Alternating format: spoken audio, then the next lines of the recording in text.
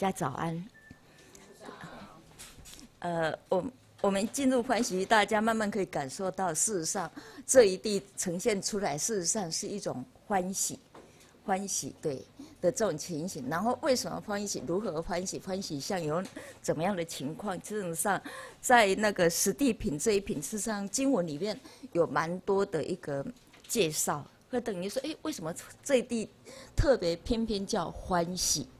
欢喜，那我们慢去读诵经文的时候，会也可以受到经文的一个心心染心，他会觉得，嗯，真的很欢喜。那然而能够由此的话，进一步去了解他的那种为什么会这么喜的那种情况，对啊，比如说舍离一些世间的染着，你会难道不欢喜吗？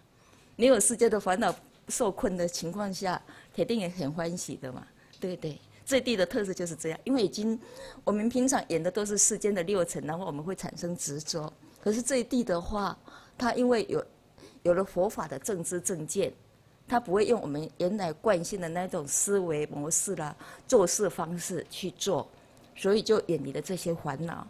对，那当然，那没有烦恼的束缚的话，铁定内心铁定是欢喜的，对不对？身心的会感受到一种欢喜的一个呃气氛，嘿。的，这就是这一地的一个特色。为什么他欢喜？因为，呃，面对事情的话，他不再用我们原来的那种世间人、三界众生的那种思维方式、做事的方式了。对，等于说以佛法的一种正知正见，或者说我们说以秉持佛法的这种智慧来面对我们的人生、日常生活中的种种事事。事情，但等等方式，对，那也就是说，我们叫做用智慧，以智慧来来过生活，以智慧来经营我们的人生，对，那当然有，那以不呃不再有那种不当的知见了，那当然就没有那个烦恼，对，那有智慧的话，那以这个佛法就是相应了，那相应能够以法相应的话，上内心，呃，自然自自然然的。他就会唤醒一种喜悦，不是刻意刻意说我要欢喜怎么样？不是的，当你刻意要我要欢喜的话，其实那不是真正的欢喜，对对，那欢喜是种很自然散发出来那种喜悦的心，对，也就是说他内心内内心本身已经充满的是一种法佛法的那种的的东的的那种内涵在里头了，所以他看待事情、面对事情、解决问题，他都会用这样的一个。呃，秉持佛法的这一种观念上来来做事，所以心里内心没有负累，当然就没有那个烦恼、又被苦恼那个的一个束缚的这种心。对，面对事情的话，该怎么做，要就怎么去做，做了以后就把它放下来，所以没有那种负累。对，不是我们不像我们本身的话做去做，然后又没办法做好，然后又投身又投徒增了很多很多的一个呃烦恼。等等，乃是痛苦等这些事情就是这样。那我们会去想到，那为什么会是这样呢？对不对？是啊，那等等，那欢喜地就告诉我们，其实真的就是，呃，这一地的特色就是感觉就是好像是脱胎换骨、判若两人了。对，是啊，就是一个很明显的一个分界点。对，因为以在这个之前的话，就是我们比较用于习惯用我们的世间法的方式去。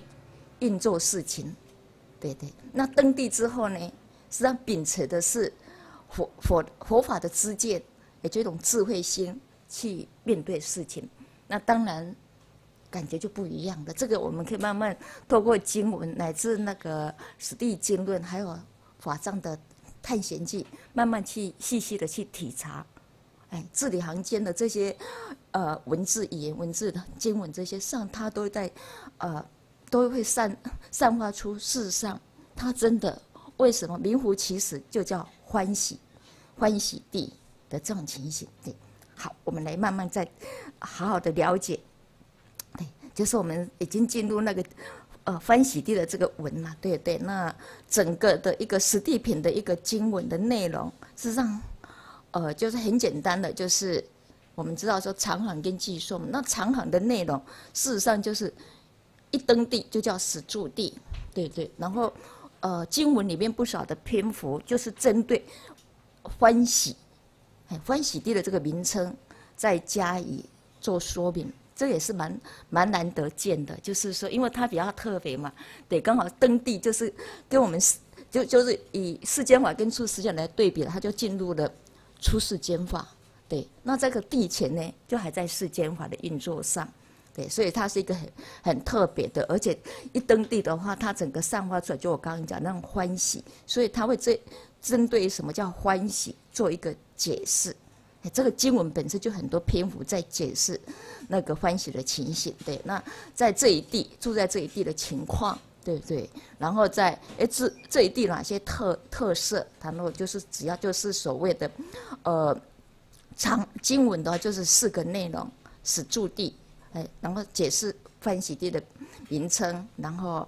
住在这一地情况，然后去较量这一地的一个殊胜的地方，对，透透过我们讲的说愿啊、行啊、果啊、愿行果的一个方式来呈现这一地真的很特别，真的蛮蛮特别的，对，叫做有十五经我们很熟悉的那愿行果，那那这一地的果报啊等等这些，它就有一些呃不少的一个论述的地方。好，那因为我们前面。哎，一登地的地方，因为配合那个实地经论，呃呃，去掌握这这，呃，刚一住地本身的一个特色，所以它很特别的，就有四个合，对，四个合，对对，就合合合嘛，一合身，为合意，以合音，有何相，对，这个就是啊，在描述那个一登地的一个情况，它本身。对，就是只要就是这个四个内容，所以我们只要去记四个和，对，那就囊括了四十句，嘿，四十一个句子的内容，因为每一个里面都有十个十句嘛，对不对？那这个对就是，呃，一和声，为什么？哎，登地了，那就是因为祸及善根，那呃，跟祸及善根的这个本身相关的界定会等，他就会很扼要的带一下。那为何意？对。为什么能够这样？为了什么？就是求一切佛智嘛。对，那也就有十个。对，那以这样讲，那为那原因呢？以何因？以大悲为所。对，那有十个悲大正智慧正大什么大？对不对？这个就是就就是基本上就表现在一个呃实地品的话，它本身是一个菩萨道、菩萨地，所以非常强调一切一切的根源所在，事实上是不离开大悲心的。对，因为有大悲心，才有所谓大菩提果；没有悲的话，就没有大菩提果了。对这个部分，所以以大悲为所，悲嘛，悲为所。对，那一登地本身的那一种有何相？就是，呃，因为怎么相呢？就是我们刚刚讲到的过凡夫地，就是已经由世间法进入出世间法，这个已经远远就超过我们凡夫。哎，凡夫外道等这种情节就是过凡夫地，对对，然后进入，呃，以佛为家就住佛家嘛，对，那就承要承承接的就是一个佛少龙火种嘛，就是要让让佛法不断的延伸下，所以这个就是变成说，呃，这一地的一个相相貌，对，我们就比较，呃，上次有也跟大家都有提过的，对，就是通过这这几个超过过就超过，然后来表达，呃。他的那个欢喜地的这个相，就是他远远有别于我们凡夫的那个情形，对，就是入位过嘛，就是他已经不是，呃，就是我刚刚讲到，他等于，呃，所思所为所做种种，他都是秉持着一个法的如实相，也就我们讲的佛法这样一个道理来运作的，对，那已经不是用我们世间人惯有的那种习惯性的方式去做，所以叫。过未过，就是已经超过我们世间人原来的那个模式的反复的那个状况，对，所以从这来看的话，它是一个入圣位。对，从这个登地，它的一个特色就是，呃，跟就是说，以我刚刚讲到说，用佛法，我们用世间法跟出世间来来分的话，这个就进入出世间法。那整个运作方式就是秉持佛法的知见来运作，所以叫呃过凡夫地，超过超过凡夫地的这个部分。这个我们上次应该也算讲的还蛮多的，所以我们可以稍微简单带一下嘛。此时出入出城出世间心嘛，对，出世间出城嘛，对，出城那表示说之前呢不算数，这边才算数。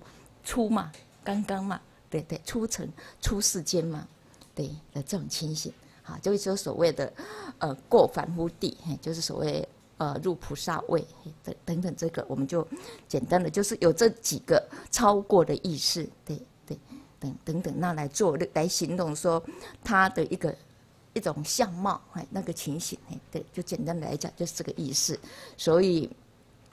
呃，当然经文的话，就是刚我们刚讲到，哎，呃，过凡夫地嘛。经文讲到，哎，菩萨他这样一个阿耨多罗三藐三菩提菩提心一真正发起的时候，就是过凡夫地。对，那这样过凡夫地，他就透过呃这样入菩萨位啦，生活家啦，走进中贵啦，过一切世间啦，然后住菩萨法啦，在都等于是入菩萨的行列叫树嘛，在诸菩萨树。然后入等入三世如来种嘛，毕竟成就阿耨多罗三藐，这个就是他的一个，呃，所谓的过，过凡夫地的这个九九个。那第一个我们会讲到说，总说的话就叫总嘛，那其他就细说，哎，那个超过的那个内涵，那个部分是，所以说，哎，菩萨住如是法，名住欢喜地。那一一登陆欢喜地的话，所有凡夫法。凡夫的，二圣法都没不可能动摇到，哎，是一个很坚固的那一种，那一种呃呃信心身心的，对，它是一个坚固不动的那种身心，好，对对法的一种身信念，好，这个就是我们上次已经跟大家提到的这个主要的内容，所以等于说一登地的话，它就已经跟我们一般我们所谓的众生凡夫。它就有一个一个差别的一个分水岭，叫过嘛，过凡夫地，所以所以也就是因为不再像我们原来的呃呃凡夫众生的这样的一个现象，所以它呈现出来就所谓的一种欢喜，欢喜地。那接着四民分的这个第二部分，就是里面的资料里面十八页，就是看进入它的一个解释的部分，四民分的部分，大家应该知道，也就是。十八 A 本身的最下边的部分的，就是要进入那个，呃，对这个这地为什么要叫欢喜地的一个解释，所以叫四民分。哎，那主要就有三个部分来架过整个经文，就所谓的多喜，哎，多喜呈现出来就是欢喜嘛，多欢喜，然后念当得而生喜，啊，念现得而生喜，都是都是，反正都是喜嘛，对不对？不管是多喜还是练练当德，哎，啊，都练现德上都是一种呈现那种喜的一个特色，也就是欢喜欢喜的这个部分。好，那那这个喜上次我们也没有提到，这这经文这三个喜，事实上它也可以跟跟我们呃刚刚讲的四四个，就在一个呃始住地的这个四个和对应，那只有中间第三个。以大悲为首，这个呃不对应，那三个喜多多喜就对这个第一个，对不对？那念当得为何意，就对为何意。那念现得就是有何相，对的这一部分，刚好是，也就是说，呃。在解释欢喜地的这个名称本身，事实上跟前面的这个始住地的这个内容，嘿，四四个河里面的三个河，它是对应的，可以做一个对应的关系。那为什么没有跟第三个对？我们知道说，因为它以大悲为首，那以悲为胜的这个情况之下，呃，那个喜比较不容易显露出来。对，这这一部分，这也是还蛮有意思，就是说，哎，呃，古古古大德他们怎么会这读书读读经会读了这么的细密，诶，说诶，这刚好这个在解释这个，我们刚讲说这三个喜刚好跟前面的这个一二四这还三三个和它是对应的，对应的一个关系，哎，它是一个对应的，对，就是我刚刚讲到说多喜它可以对对应的一和生，对不对？那念当得喜可以对应的为何意？对，那第四第三个现得生喜。就对应的第四个有合相，有合相。那这个进入那个解释欢喜地的这个名称的时候，它前面这一步有一块内容，就是在刚刚讲的，我刚讲那个内意思，就这个三个喜，它事实上可以跟我们刚谈到的一合生为合意有合相，它是相对应的。所以他讲说，对多喜的话是对着一和生嘛，等于它的一个多喜上跟一和生，因为都在总上根嘛，对，界定会这种上根的培植会让我们，你我们升起欢喜心，对，就就所谓的多喜是跟善根有关系。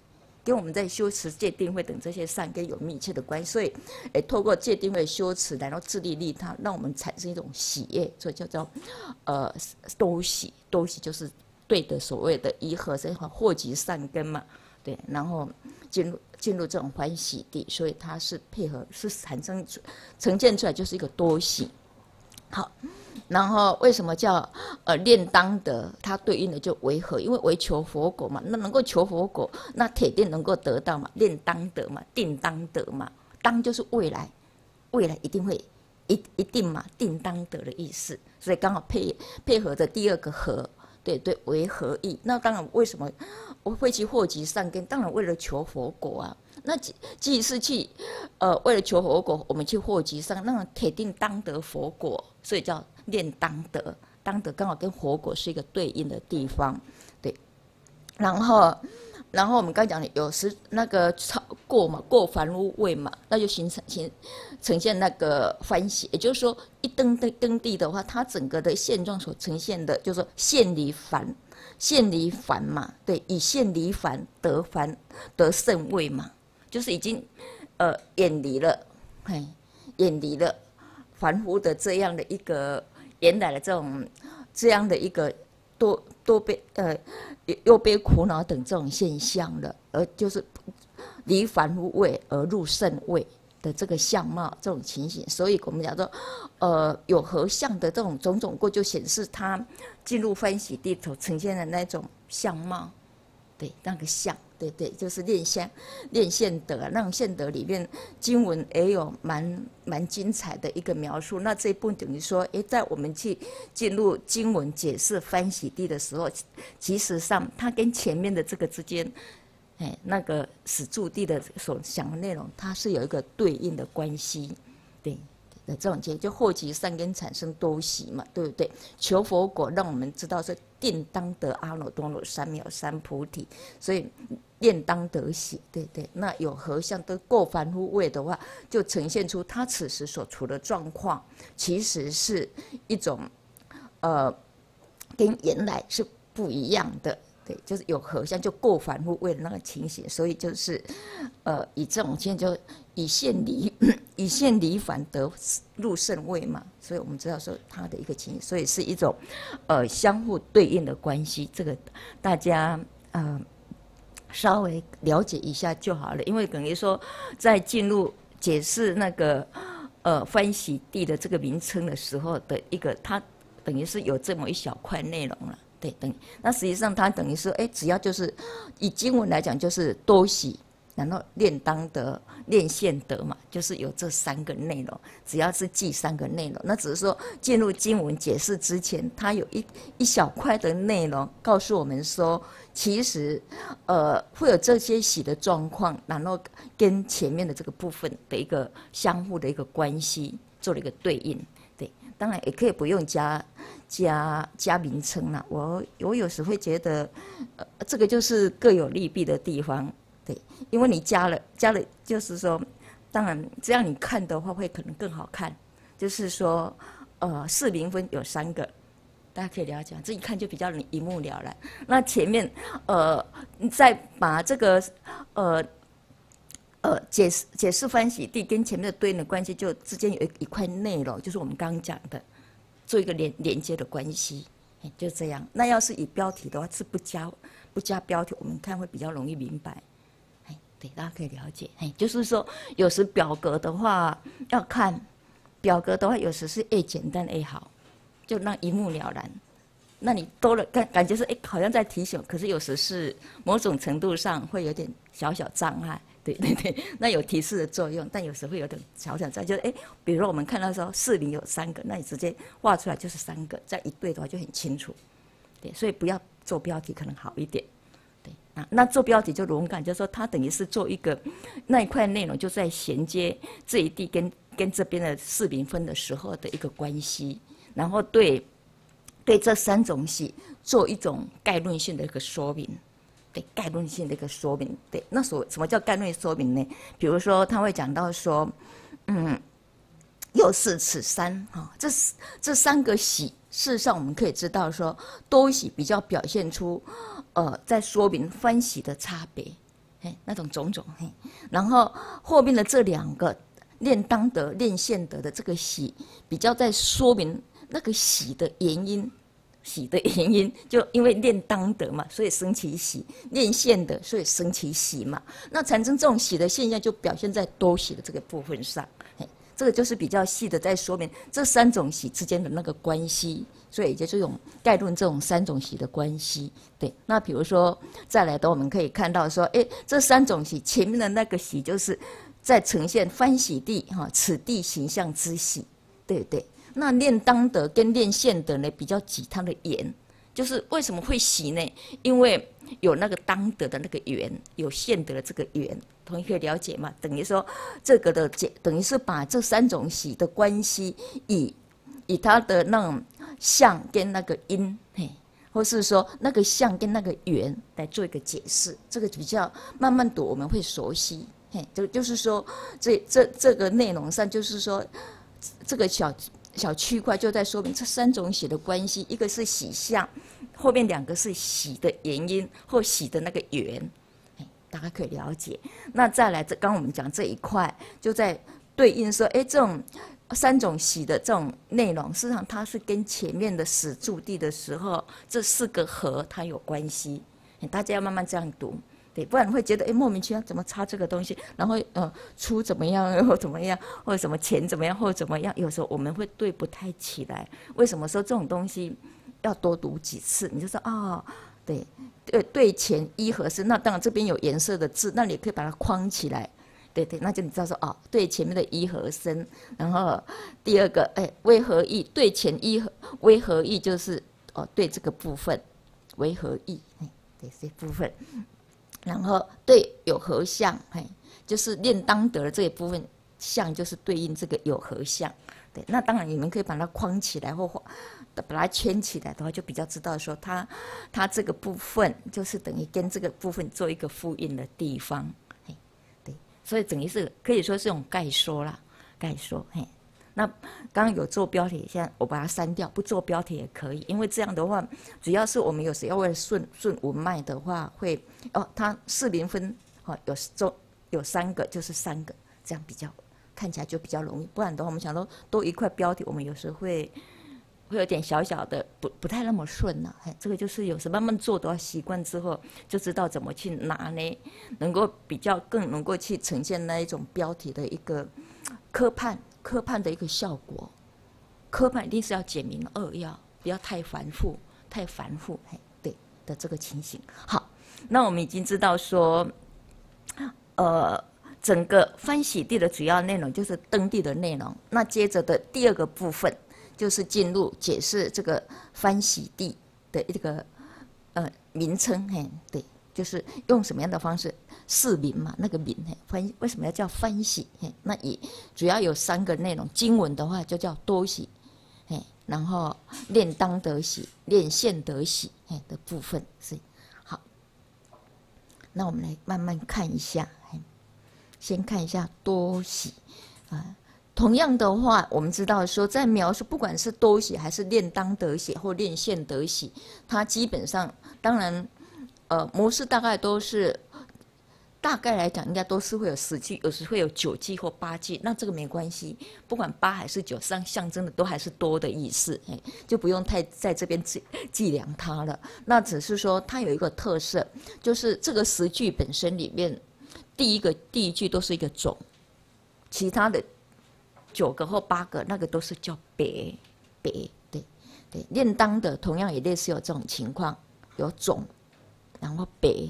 练现的也是一种总跟别的一个架构，这个就是我们知道说，以这十句的话来呈现，它是一种多对。那这种十句本身的关系，实际上可以透过总跟别，然后搭配着我们讲的六项圆融总别同意成坏的这个部分，所以你可以知道说，呃，六相圆融这个观念很重要。然后在之前已经讲过，所以后面它就不会再重复了。但我们可以知道它是有这个特色的，它这个这个特色，等于说这个死句的关系，它是一种彼此是呃相互依存的这种关系，所以用六项言容同总的同意来做一个说明。好，那那我们先看一下这个。呃，欢喜地的这个名称的这种多喜的一个情形，事实上用经文来看，我们可以知道说，经文对他讲到说，诸佛子、菩萨摩诃萨住欢喜地，好，菩萨住欢喜地的时候，那一种，他第一个就叫多喜，哎，多喜，对不对？就是这个是总计，那其他的那八个，他就在描述。这个多喜的那个不同的面相，比如说从尽兴而喜，对不对？然后清净而喜，然后踊跃喜，然后调柔喜，呃，堪受喜，不好斗争喜，不好不好扰乱众生喜，不好嗔恨喜。对，这个都那这从多性一直到不好嗔恨的这个，都在对于这个多喜第一个总总句的一个说明，嘿，说明。反正总的来说，事实上就叫多喜。所以他就以多喜作为一个标题，哎，标题，对，就是以以这样的一个呃酒句上，对，当然我刚刚讲到，不管是酒还是史上，都是一个多的含义，嘿，酒也是一种多，嘿，是，好，就是一个多喜，嘿，那可以知道，那那后面这个八个就在辅助说明这个喜，也就是的一个情，所以我们叫别别别，那第一个就叫总，就我们刚刚提到总。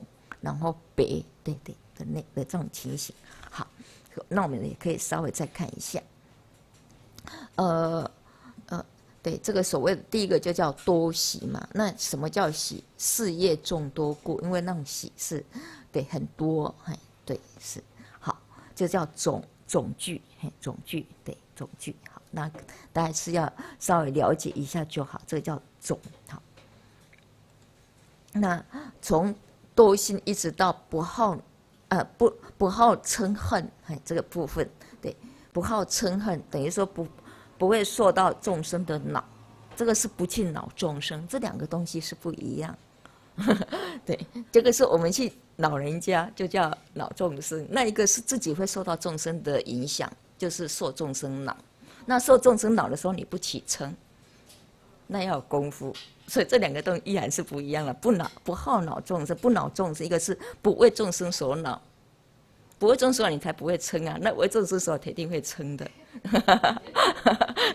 对呀，所以这个很很很很有意思的，对，因为不去恼人家的话，当然自己是内心是喜悦的，当然就不会去恼人家的，那不会受到人家影响的话，不受人家的影响，那你铁定你内心也是很。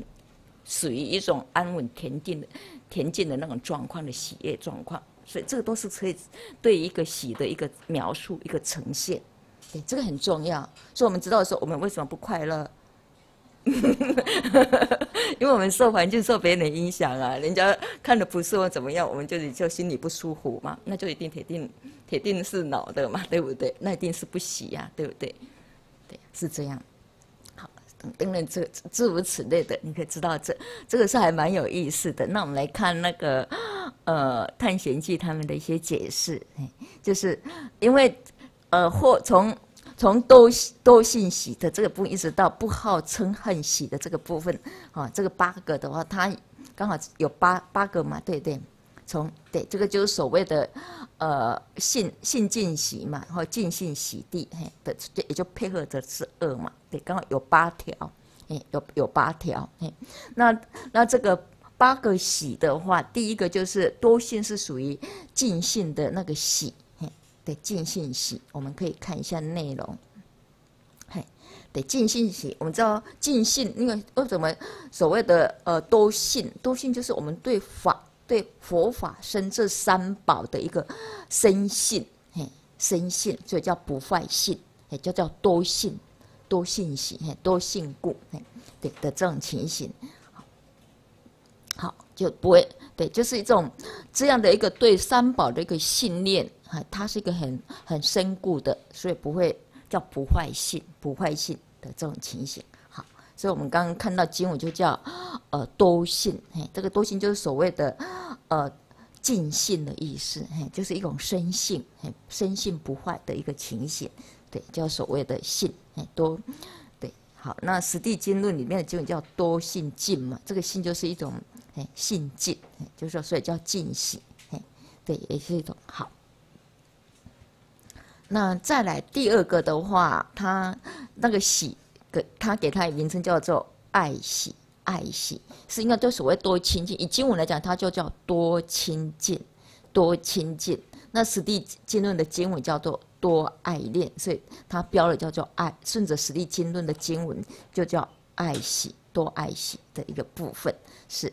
那为什么叫爱喜？因为是很重要，它叫乐观真如，就是真如，就是我们讲的佛法的那个呃真如一味的这个道理，嘿，就是好。对乐观这个法，对对，所以我们讲到直心，实际上就是乐观真如。以起心来讲，直心身心就是呃广行菩菩萨行，嘿的这个不那等等哈，大悲心当然就悲悯众生啊。所以说我们叫呃直心就叫乐观真如，嘿念念以以真如的一个一个相应上，也就是所谓的啊那乐观真如，当然我们的身心是清净的。为什么心身心不清净？因为我们远离了真如真如佛法，对，所以心会不清净。那乐观的话，念念念念都在一个真如法上，那当然是清净的。所以，所以叫做呃多清净。经文叫叫多清净。然后这个是从呃多多乐观真如的这个法。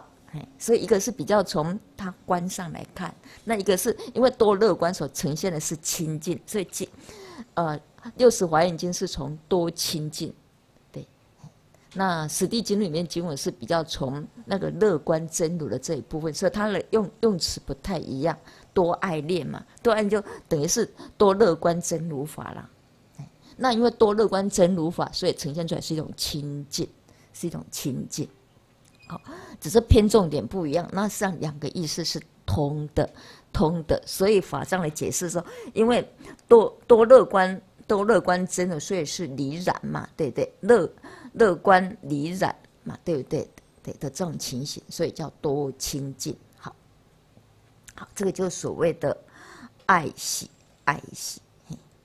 那那再来的话叫庆喜，对，庆喜这种踊跃、踊跃的一个相状，哎，这种情形就是所谓的呃。庆喜，对对，这个应该比较好了解。对，庆喜，因为我们知道说，以实地经论世亲菩萨解释是自觉所证，哎的那种较量胜嘛，就是因为自己证得嘛，所以当然会涌现出一种喜悦的情况，就叫多踊跃或叫多庆业。对，是啊。那在华藏会解释自觉所证较量胜嘛，过于地前，因为这个是地前从来没有过的。从来没有过的，所以会显显示那种踊跃喜的这种情况，有过于地前，对，好，这应该也不会太难了解。那经文在叫多调罗，调罗，哎，调罗，对，得用调裸的这种情况。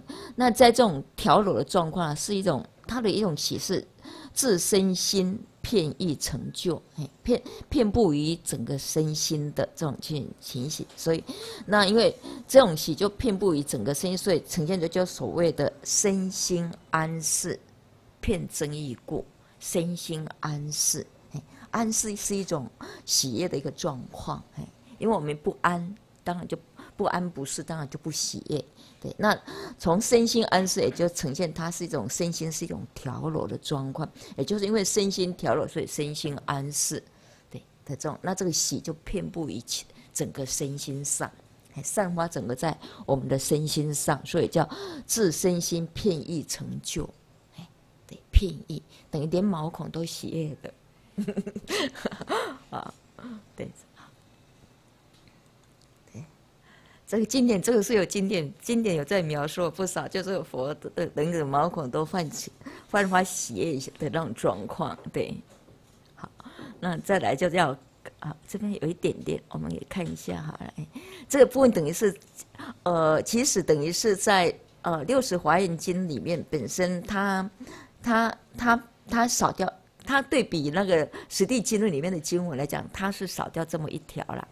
对，叫多踊跃，所以这边讲说，哎，此中内无嘛，对不对？是这个意思，也可以辅助来讲。那要是把这条加进去的话，那么就变成十。刚刚表达说，看起来就九个嘛，实际上就也是十个了。嘿，对，有时因为有时在不同的版本啊，嘿，它之间有时会多一个或少一个，那这个影响不大，嘿，都影响不大。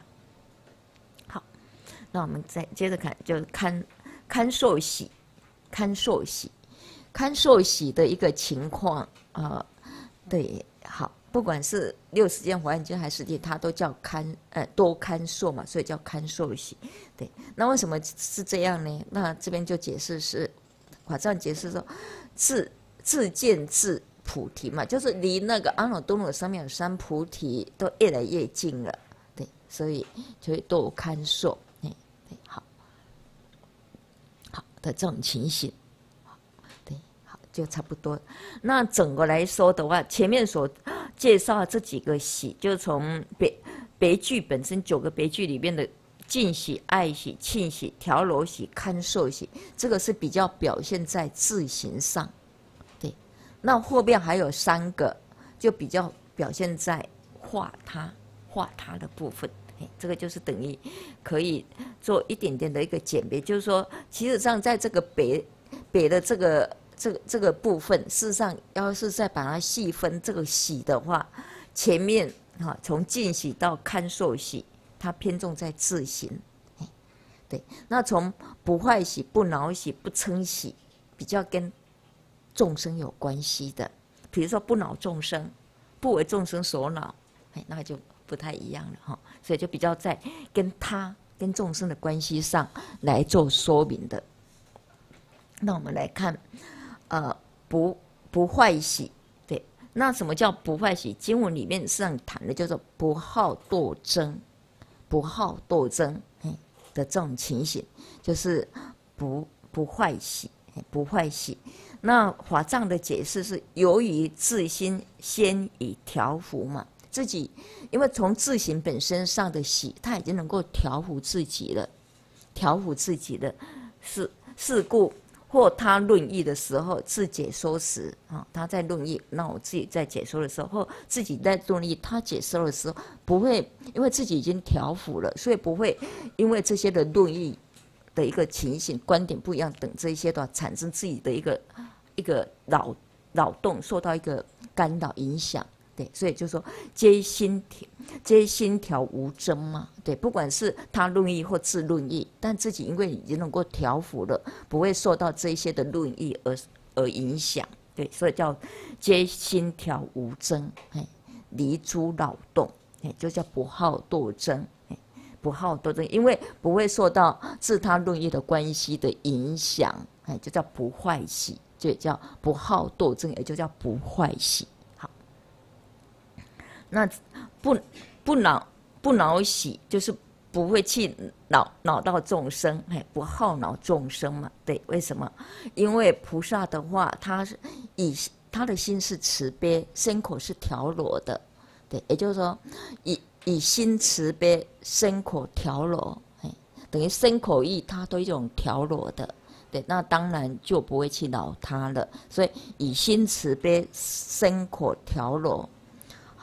射箭恶人以道见化，就是说，呃，纵使碰到恶人的话，他也能够，呃，循循，呃，善诱的去引导他，对，以道见化，对，不恼他，不会说啊，你是恶人，然后就图就会去升起，更增加这个恶人进恼这个恶人的这个状况，他反而不恼，而且还会用以道的方式，行性渐进方式来化导他。所以叫做，呃不，呃这种就叫不恼他，嘿不恼他，对不好不好恼乱众生，不好恼乱众生，这就不好恼乱的这种情形。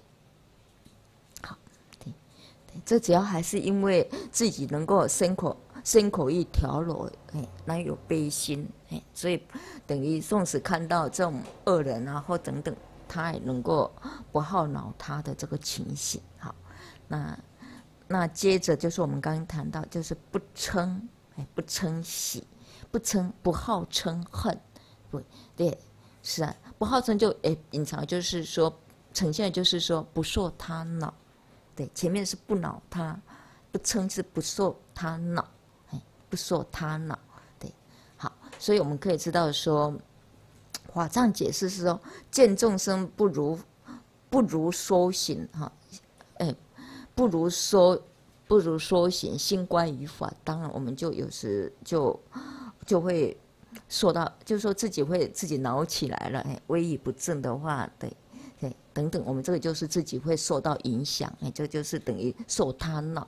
那在这边的话，就是不称喜，就是说不受他恼，对，不受他恼，对，不单看到众生的一个行仪不如法，事实上不起不起嗔心，不起嗔心，所以叫做呃不恼他，不恼他，不坏不恼他，对对，那对对，那那自己不起嗔的话，就呈现出所谓能堪受他恼。对对对，不等于他恼你的话，你自己因为他的身身心乖离法嘛，对对。那我们知道说，我们看到这种情况，我们自己就会就会生气了，这就就是受他恼。那这边的话不称就不不受他恼的意思。好，那前面的呃不坏喜不不恼喜，就是比较不恼他的部分。所以他说前二句十一，哎，在处于化他的这部分，这边的这两个不坏跟不恼他。不，呃，不坏喜跟不恼喜是属于不恼他，那不嗔喜就比较能受他恼，也就是说别人恼不到你，这种情形，就是我们刚刚说看到众生，呃，心乖法身身为道的这种情况的话，我们很容易看起来就不顺，不是的，我们自己就会受到恼，对，那不是我们就会起嗔心，对对对，那不起嗔表示说不会受到他的影响，叫做。哎，能受他恼，他他他不顺法，你也能够不嗔不轻，不知就是说你不会受到影响。所以叫做自不起嗔嘛，自自不起嗔就呈现出能堪受他恼，能堪受他恼的这个情形。所以等于说，从后面的这个呃三个喜，哎，事实上虽然都跟众生有关系的，嘿但我们知道说前面呃不坏喜。跟不恼喜就是自己不不去恼他恼众生，然后最后一个是自己不会受到众生的影响，所以不起嗔，也就那不受正，也就是说看到众生不如法，你自己不会起嗔，所以能够接受他恼，可以听得懂吗？接受他恼，对对不对？人家来烦你的时候，你还能够看受了，不起嗔心，就是接受他恼。对，这很难呢。不是讲的比较容易，实际上碰到事情的时候就不那么容易了。对，不过我们也可以从经文的这些点点滴滴的描述里面，我们可以用来检检检检检验我们自己平常日常生活待人处事啊的这些种种性，我们是 那哪哪几条我们可以过过得了关的，哪几条我们过不了关。对，这也蛮有意思的。这个就变成说，虽然是在讲登地菩萨，但事实上也可以用来检验我们自己。我我们心行的功夫到哪里去了？是不是在恼他，还是在受他恼？前不多犯，对不对？又恼他，又受他恼，所以两个恶性循环。对啊，互相的嘛，对不对？真的是互相的，对，所以也是蛮有意思的。就是说，哎，这种经文它这么简单的这样一个提提示一下，但事实上真的可以用在我们自己本身日常生活中来检验我们自己到底有没有功夫啊？我们的功功功力到底到哪里去，能够抵得到多少？哎，这个平常我们都会常常会遇到的事情嘛，常常会换的嘛，哈，对。对啊，待人接物啦，以前，呃，互动的过程中，事实上就会呈现这这些种种的一个情形了。重要。哎，对，虽然是在讲登地菩萨，但也可以不妨也可以用到我们自己的心型的功夫上来做一个检检验的地方。好。那大家可以了解到，透过那个呃第一个项目多喜，那以这个九条或十条就在描述说，其实呃为什么这个欢喜地叫欢喜的这个哎这种情形，它因为是呈现在字形上，它是一种呃多信、多亲近、多踊跃、多调柔、多堪受，哎乃至不好不好斗争、不恼众生、不受众生恼，哎就。不称的这种状况下所呈现出来，那因为因为这这一些啊，就是我们说它是一个为什么叫欢喜，就多喜的一个状况，哎，就是以这个呃的字形上的一个身口意的一个喜，然后乃至跟众生的这个关系上不恼他不说他恼的这种情绪来说明，哎，这一地，哎，为什么叫欢喜地，就是因为。他有这么多的喜，对，因为不恼他，所以是喜；不说他恼不起车，事实上也是一种喜的这种情况。所以我们可以知道说，登地的话，他为什么可以喜，就是因为不恼他，然后又不说他恼，对，那种感觉，我们可以慢慢去体会一下，不恼他，又不说不说他恼，对，那那这样的一个人格，事实上是很。很稳健的，哎，很平稳的，很恬适的的这种情况，是安稳、安适、恬适的这种情形。所以，所以我们刚刚讲到是一种这种这种喜，哎，就是我们刚刚提到的一种事业嘛，哎，事业，哎，事业众多，哎，就是很多，哎，对，就是身口意，在一个自身的本身上，身口意所泛散出来，它是一种事业。的一种情况，这是一种很安适和悦等等等喜的一个状况，对。然后乃至在跟不单只是自身的身口意的部分，而是那自身身口就表示自己的一个调伏嘛。那因为自己也也能够调伏自己嘛，所以在一个待人接物上，以以众生以以大众在接接触的过程中，他呈现的一个不不恼他也不受他恼的这个状况，所以那一种也是一种喜悦。对，就是所谓的，呃，事业的这种状况，好，大家可以了解一下。哎，这就是以这样的方式来来说明，呃，来描述那个欢喜地的那个喜，哎，就是要就是所以叫欢喜地，哎，就这这几个部分。好，那另外的话还有两个部分，哎，就是炼当德，因为想到自己不久就要成佛了。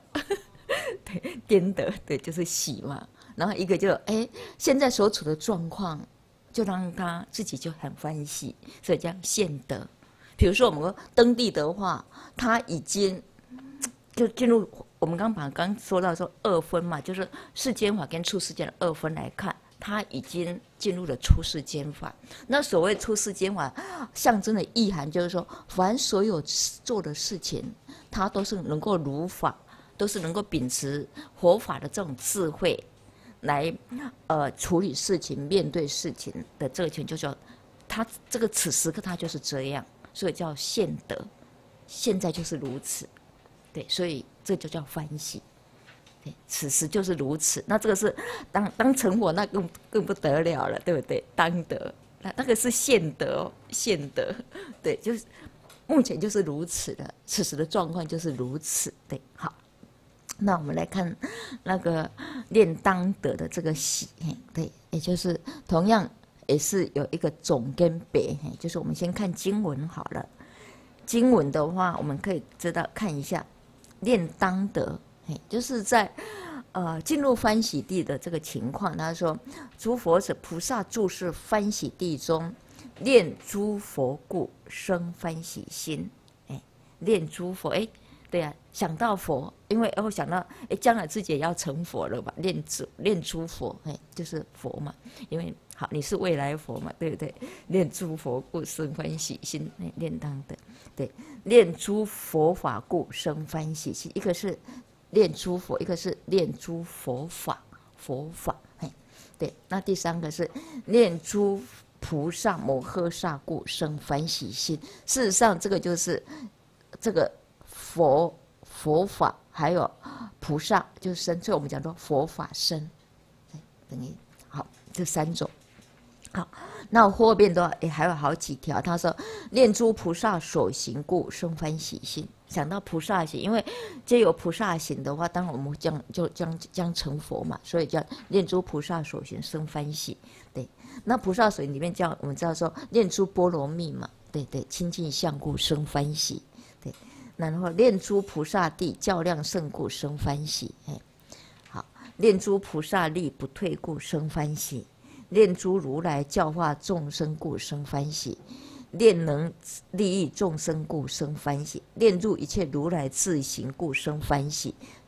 对，那这个也是同样，我们可以知道，这这十个十句十个内容本身的话，前面第一个可以叫做总，嗯，那后面的九个可以叫做别，就所谓一个呃总总别的关系。第一条里面就可以，哎。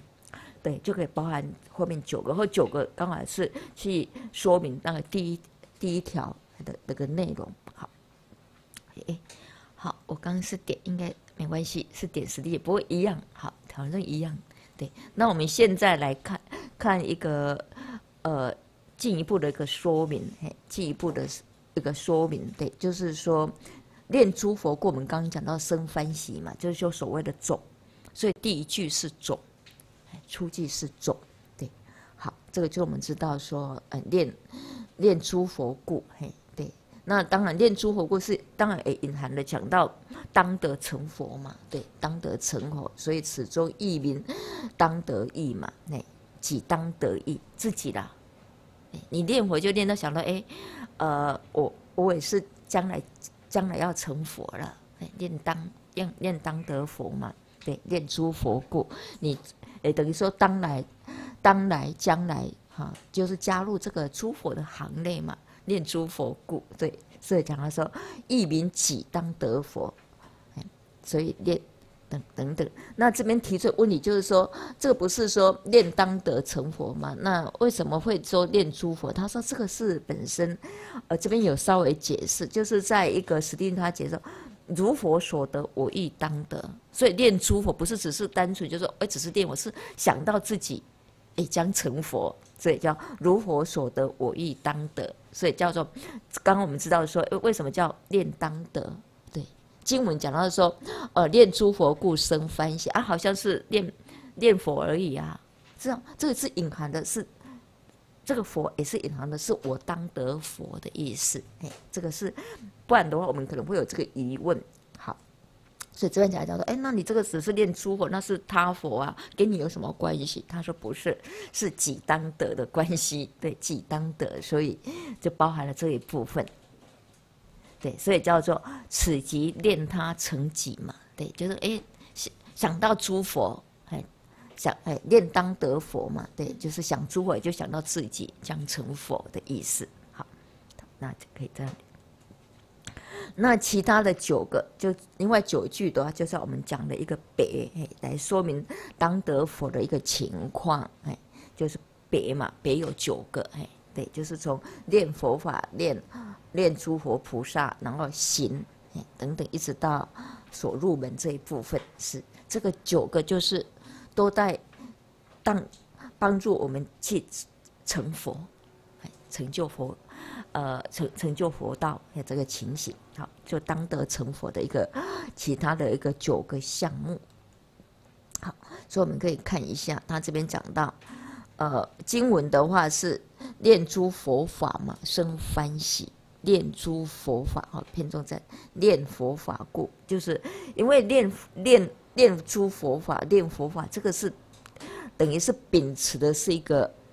一个正念，正式念法，哎，就是念法，哎，念法就是让我们本身时时刻刻都在那个都在法上，哎，念法好。所以，但你总该别嘛，以念佛念佛门开出已久，前面就是念诸佛嘛，对对，然后总总本来就可以设别了哈。以前面这个刚刚我们念诸佛故，哎，这边哎就。第一个就是念诸佛故嘛，哎，这就叫种，对，那种本身就可以设后面的这个九个九条内容，所以叫做，但以种该别，该的话就是一个色，哎，该设的意思。对，那所以第一条就可以开出九个，或者说九个上也就在说明我们第一条的内容。对，是故九中皆有念佛，哎，都有念佛。好，对，对，好，所以，对，所以我们可以知道说，喂，后面的九个都是什么叫念佛？念佛，念佛法。念佛菩萨还是念佛？念佛行还是念佛？念佛经还是念佛？对不对？怎么都跟念佛有关。你看前面的两个字都是念佛啊，念佛圣，念佛不退力，念佛教化之法，菩萨行也就是念佛的菩萨行，对对对，是啊，然后念佛的广利众生。念佛所入的门，所以对，所以我们为什么说第一句是总句？念诸佛故嘛，念念诸佛故，这个佛嘛，念念佛，那就设后面的九个上都跟念佛有关。对，我们在我们在念佛，我们当然佛也是我们所念的对象，那我们没有想到，哎，念佛菩萨，念佛行，念佛静，念佛圣。哎，还有不退力教化法，广利众生所入门，上都是念佛。念佛的意义是很广的，所以念佛一句的话，就可以总受后面的这个九个，就是好。就我们刚刚讲的，以以种色别嘛，以种以种色别的这个情形，好，好，对，就我们刚提到的，这是。好，这个部分对叫诸诸佛法，念诸佛法。好，对，那没关系。那我们接着的话，就再来看的话，念念佛菩萨。哎，上次只是一个念念，也就是念身宝了。菩萨也就是一身宝，所以我们讲做佛法身。哦。没关系，这个的话，这个是在一个顺着世亲菩萨的一个解释之后，呃，法藏，不，世亲菩萨等于把这个念佛这这个讲完之后，他会再补充做说明的。那那我那在这个表格里面，就是论里面，等于是把这个 十十种念佛的东西讲完之后，他会再加以解释，详细再解释的部分，然后再。其实上应该是说这两栏的话，我们可以叫这样讲，就是说这这等于从那个论别释这一部分，其实照理来讲，一一文的话，我们应该是在这个十种念之后，接下来的内容，接下来的内容，那那因为为了对读的方便，把它剪剪到边边去了，同学可以了解吗？对，对就在这个十种这个练完之后的内容，然后把它剪上边边，因为这个对，就是说世亲菩萨在把这个十种练讲完之后，他解的就是在进进一步对那个十种练再加以解释。对，所以我刚刚把他这个同学问到的那个部分的，这这个部分的内容就是在呃对对读十种经文论对读十种实地经文的这个十种练之后，再加以解释。那法藏要对这个再加以解释，对，那那在因为把这个十种练的话再加解释，因为它本身跟这个内容有对应的地方，当然也可以不用剪过，但可是你要对着这个读的话方便，对，因为你没有摆上来的话，你自己顺着一直下去的，我们可能会说，哎，比如说第一，比如我们类似讲到说，因为这十种练讲完之后，然后十地经论。世亲菩萨会在对这十个条目再加以解释，比如说他说，呃，第一第一个念跟第二个念这两个念的话，此二念是属于都是念佛嘛？那要是我们不把它剪过来的话，你接下去我们就不知道此二练在指什么了。嗯，对，这个是为了对赌的方便，所以啊，然后。然后法藏的探险记，因为要顺着世亲菩萨这个遗中此恶念，然后他他就要一直跟他对应再解释下来。对，基本上应该就是我们这种十种念之后，呃，论的话，这这部分就排下去，那探险记也就记一直对对得下去了。那因为这个，因为是对这个十种念解释嘛，所以我们要跟这个前面的这个再对应过来，是这样的方便。对，那因为剪过来了，对。当当然可以用标楷体了，用标楷体就区分嘛。然后原文的话也可以再下去，标楷体说方便上剪过来的意思啦。哎，不。对 对，大家可以了解到，这只是对赌的方便，实际上是要要接这十种链讲完之后，后面后续下来的东西，然后探险就会顺着史地经论的一个对前面的十种链的解释，再再一直解释下去，所以会变成一直大下去。你们知道，就是这个有时在赌的时候，为什么有时会感觉上不容易赌或摸不着头绪？对对对，不然我们讲说，啊有啊，不然不然就我们要讲说，此中出二练共练。我想此中出，哦，在哪里啊？就是指，哎，就是在这个呃这个地方，叫对对对，就是有有两个，哎，有两个，对。那那我们可以知道说，哎，法藏的话，他就他就顺着，因为实地经论，他要对这个十个练再加以解释嘛。对，前面只是很简单的对着经文，那现在是要进一步的解释，所以叫，呃，这个十种念里面前面的两个叫做念佛，对不对？对，然后这个都是属于实地经的经文哦，嘿，对，然后如佛所得，我我亦当得，对我亦当得，故念佛念佛法，对，念出佛法故，对，所以等于包括了念佛跟念佛法两条。那探险记的话，就对应的史地经论。要是我们顺序排下去，就十条文，就他史蒂君在讲这个时候，跳前他他就会呼应这个，部分再加解释了。嗯，对。所以他说：“又此又此十句论主，论主就指世亲菩萨，对，更做一番解释。大家知道吗？更做一番解释。对，也就是说，他把这个经文简单的史蒂君简单的解释之后，然后再进一步去解释，所以叫做更做一番解释。”更做一番解释嘛，大家可以知道嘛，更嘛，就是再加一次来解释嘛，对，更做一番解释，就是意思，就是这这个这个以下的话，就呃，史蒂就论再加以把前面的十条再加以解释，那法藏就帮我们说明说，哦，这个是论呃，世亲菩萨，哎，就史蒂君的论主就世亲菩萨更加以来做说明的地方，所以叫更做一番解释。对，所以叫啊，这边就马标是说，《探险记》里面对那个世亲菩萨再加以解释，这有点拗口了。对，他就这个意思。好，大家就就是可，因为刚刚应该一开始要跟你们讲一下，还好东西我有提一下，不然你你们觉得也对不上来，因为要等这个十个讲完，我们才会再讲讲到这边来，这样比较顺呐，也比较顺。因为前面的话，它简单的来看的话，它只是很基本的，就是呃经文怎么讲，然后世亲菩萨简单的去解这个经文，对对，然后法藏也顺着世亲菩萨简单的对经文再加以解释，然后对论里面对经文的简单解释，他再加以说明而已，嘿，就是很简单呐，对对，所以说我们对着看，嗯，因为在念当德嘛，那。对，就是我们刚看的经文，就念诸佛故嘛，生欢就是一个总句嘛，对不对？那史地经里面经文是念诸佛故生欢喜嘛，大概翻译都差不多。那事情不要解释，哎，何者念当得？就有点用语疑那个疑问的一个语句，哎，为什么要念当得？那念当得到底是指什么？何者念当得？银河念？然后就呃。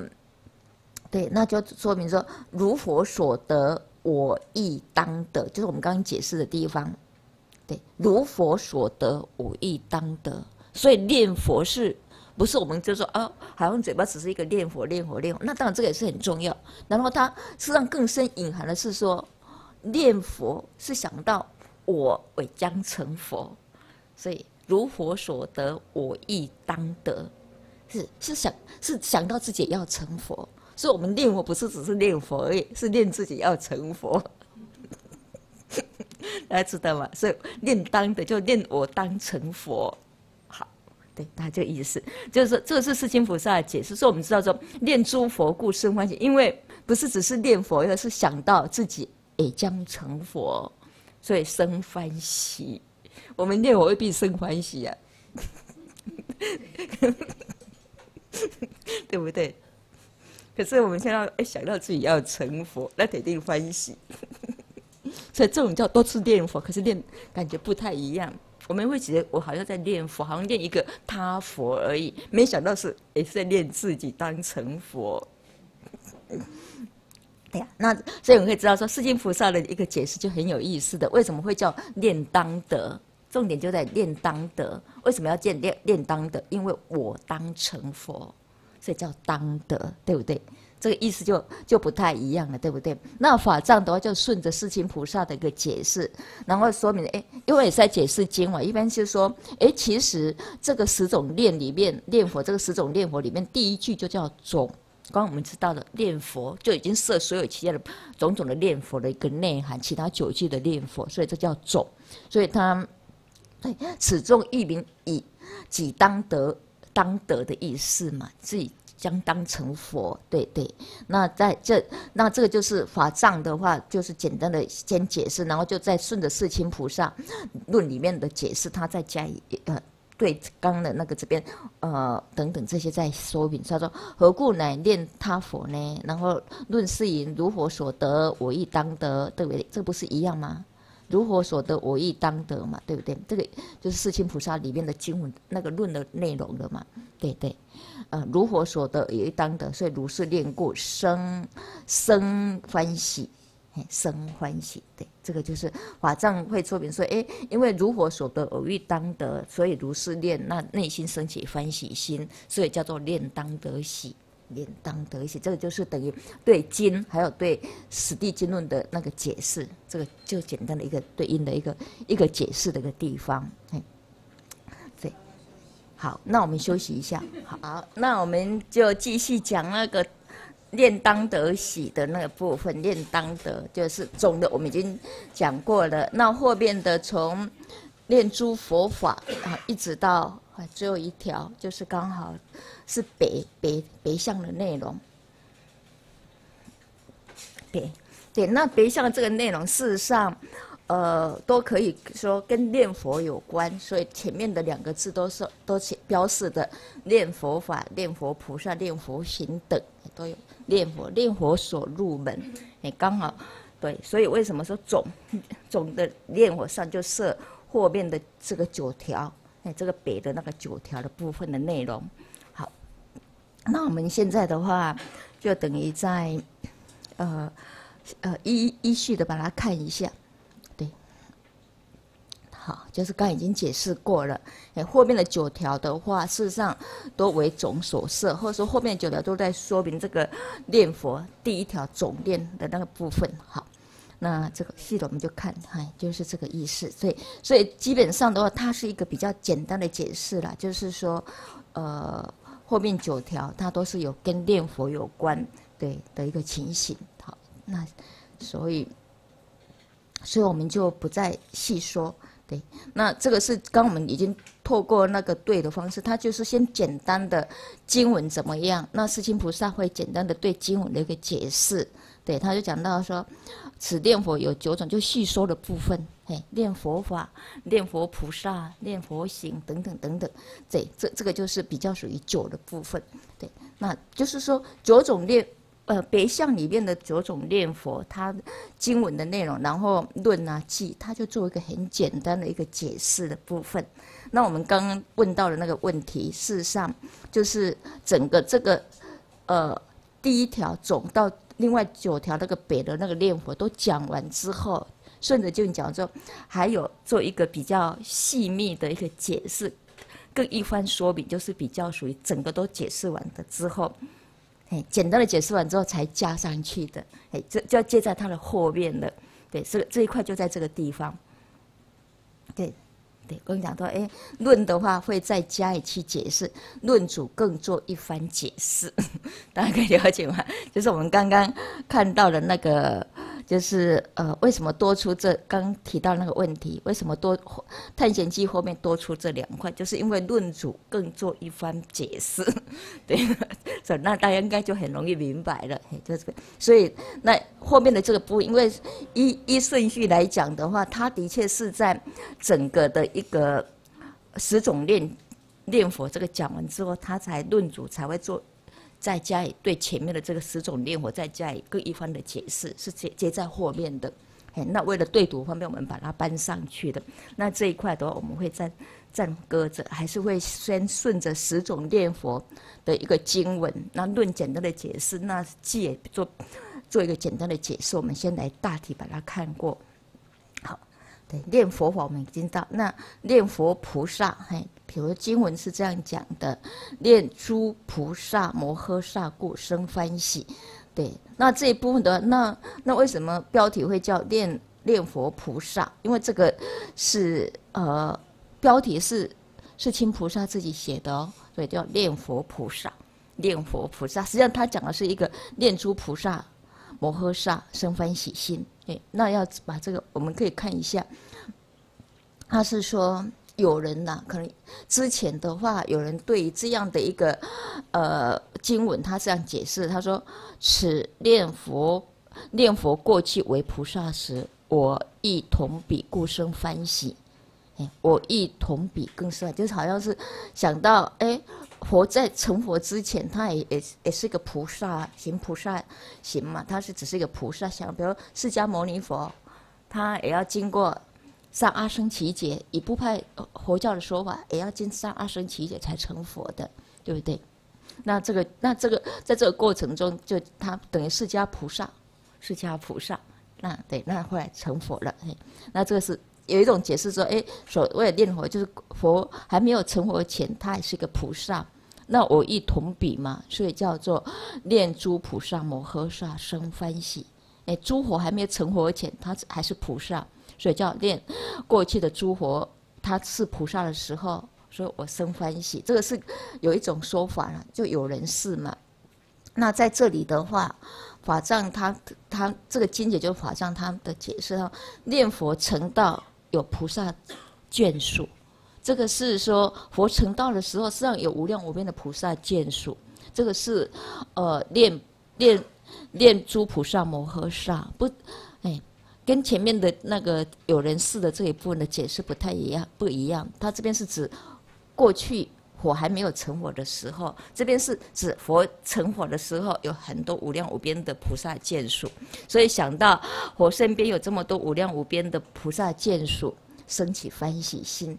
对我念佛成念佛成道有菩萨眷属，我亦当有。哎，你也你也是要，你也要加入。菩萨见所这个行列嘛，所以我亦当喜，大家听得懂吗？哈，对。对，就是说你也会成，你先呃会成为一个佛的见属，哎，等于菩萨佛佛本身的一个菩萨见属，对，好这样一个行列里面，所以念佛成道时有菩萨见属，那这些佛成道时的这些菩萨见属，事实上你也是其中，你也当成为其中的一份子。所以叫做念诸菩萨摩诃萨故生欢喜，好，对，前面是说念自己当成佛，那现在是说念佛成佛的时候有无量无边的菩萨，那你也会是其中的之一，嘿，对，那那这个生欢喜，所以叫念诸菩萨摩诃萨故生欢喜，等于说念呃诸佛成道时的无量无边的菩萨眷属，那你诶成为里边的一个行列之一，好，这个叫做念佛菩萨。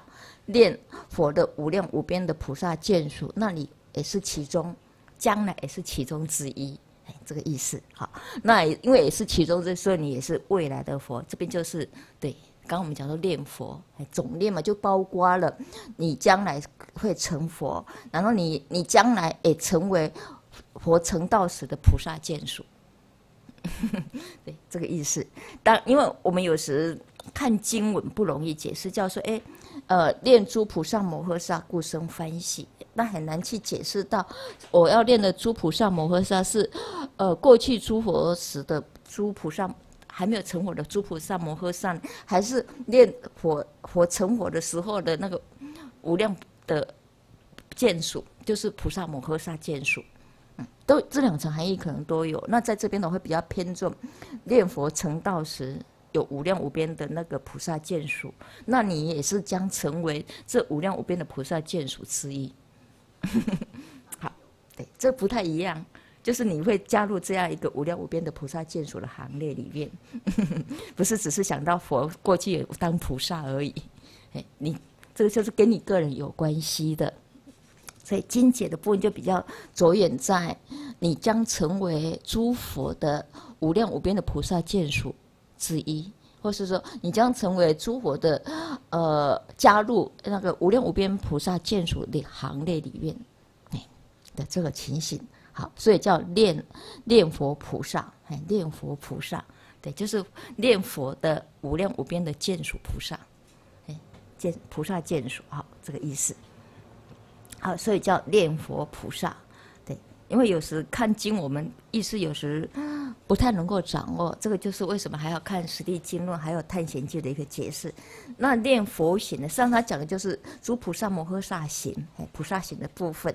那这个当然跟呃念佛、念当成佛这个有密切的关系。所以法藏在这边解释到，此中正是念菩萨行，指的是菩萨行；念佛行上指的就是念菩萨行。为什么呢？他就会讲到，以诸菩萨行是诸佛所行故，大家可以听得懂吗？哈，因为我们讲到佛所行是什么，当然不离开菩萨行了，所以叫念佛菩念佛行，的就是这样就指的是念菩萨行了。以诸菩萨行佛所行故嘛，对对，从佛有故。应该有时是这样讲，以诸菩萨行佛所行故，嘿，所以从佛而有，那可能这样念起来会比较顺。以诸菩萨行行佛所行故，他听得懂吗？可能不要剁开了会比较。以诸菩萨行佛所行故，哎，有点拗口是不是？呃，应该还好啦，应该就是不要不要剁开来。以诸菩萨行佛所行故。哎菩萨所行都是不离开佛行啊，对，叫做从佛故，这叫念念佛行。好，大家可以了解，大家就这个意思。哎，不剁开会比较好，念起来可能比较顺。以诸菩萨行佛所行故，哎，因为剁开的意思会不太一样。那这个的话就是，呃，菩萨所行都是佛所行，所以，所以那既然都是佛所行，所以称为念佛行。哎，大家应该是这样会比较好。哎。念起来比较顺，所以叫念诸菩萨所行故生欢喜。那世尊菩萨为什么标他是念佛行？因为诸菩萨所行都是佛所行，对，以诸菩萨行都是，诶，也就是说诸菩萨行佛所行呐。好，那也就是法藏这一部分就等于在解释，诶，世尊菩萨为什么叫念佛行？诶，经文里面说念诸菩萨所行为什么叫念佛行？因为菩萨行佛所行。哎，这个菩萨行是动词，佛所行是名词，同学听得懂吗？哈，对，以诸菩萨行佛所行故，好，这样会用整句话会比较顺啊。所以叫菩萨行称为念佛行，念佛行，哎，念佛行，好。好，那接着的话，经文讲说，念诸波罗蜜清净相故生欢喜心，哎。对，那释迦菩萨给他们一个称叫做念佛净嘛，哈，念佛净，对，就是清净行了，对。那在这边讲说，念佛所有诸诸度，也就呃诸波罗蜜，事实上是离染浊的。那既是离染浊，当然就叫清净，哎，清净，对，所以叫做念佛清净，哎，念佛净，好，念佛净。对，都是跟跟念佛有关了。这个就是指的是一个诸波罗蜜清净行了。哎，诸波罗蜜清净，因为是离染浊嘛，所以叫清净行。哎，清净行，对，那都会释经都释经博都会叫念佛，因为都跟佛有关，所以叫念佛净。实际上指的就是呃波罗蜜行清净行。好，那接着经文是讲念诸菩萨以众殊胜故。啊，生欢喜心，嘿，对，诸菩萨以众殊胜，也就是说，呃，殊胜处嘛，所以叫念佛圣，念佛圣，对，晚上解释说，念佛菩萨胜于众故，嘿，等等，因为胜于诸众嘛，所以叫做圣，哎，殊胜的意思，对，就是所谓的念诸菩萨，哎，以众殊胜，好，对，好，就是所谓的念佛圣。这个比较属于在一个较量上来看呢，也就是说，诸菩萨的话，它胜过于其他众生，所以叫念念佛圣，哎，等于一个殊胜嘛，对的，所以叫圣，叫念佛圣。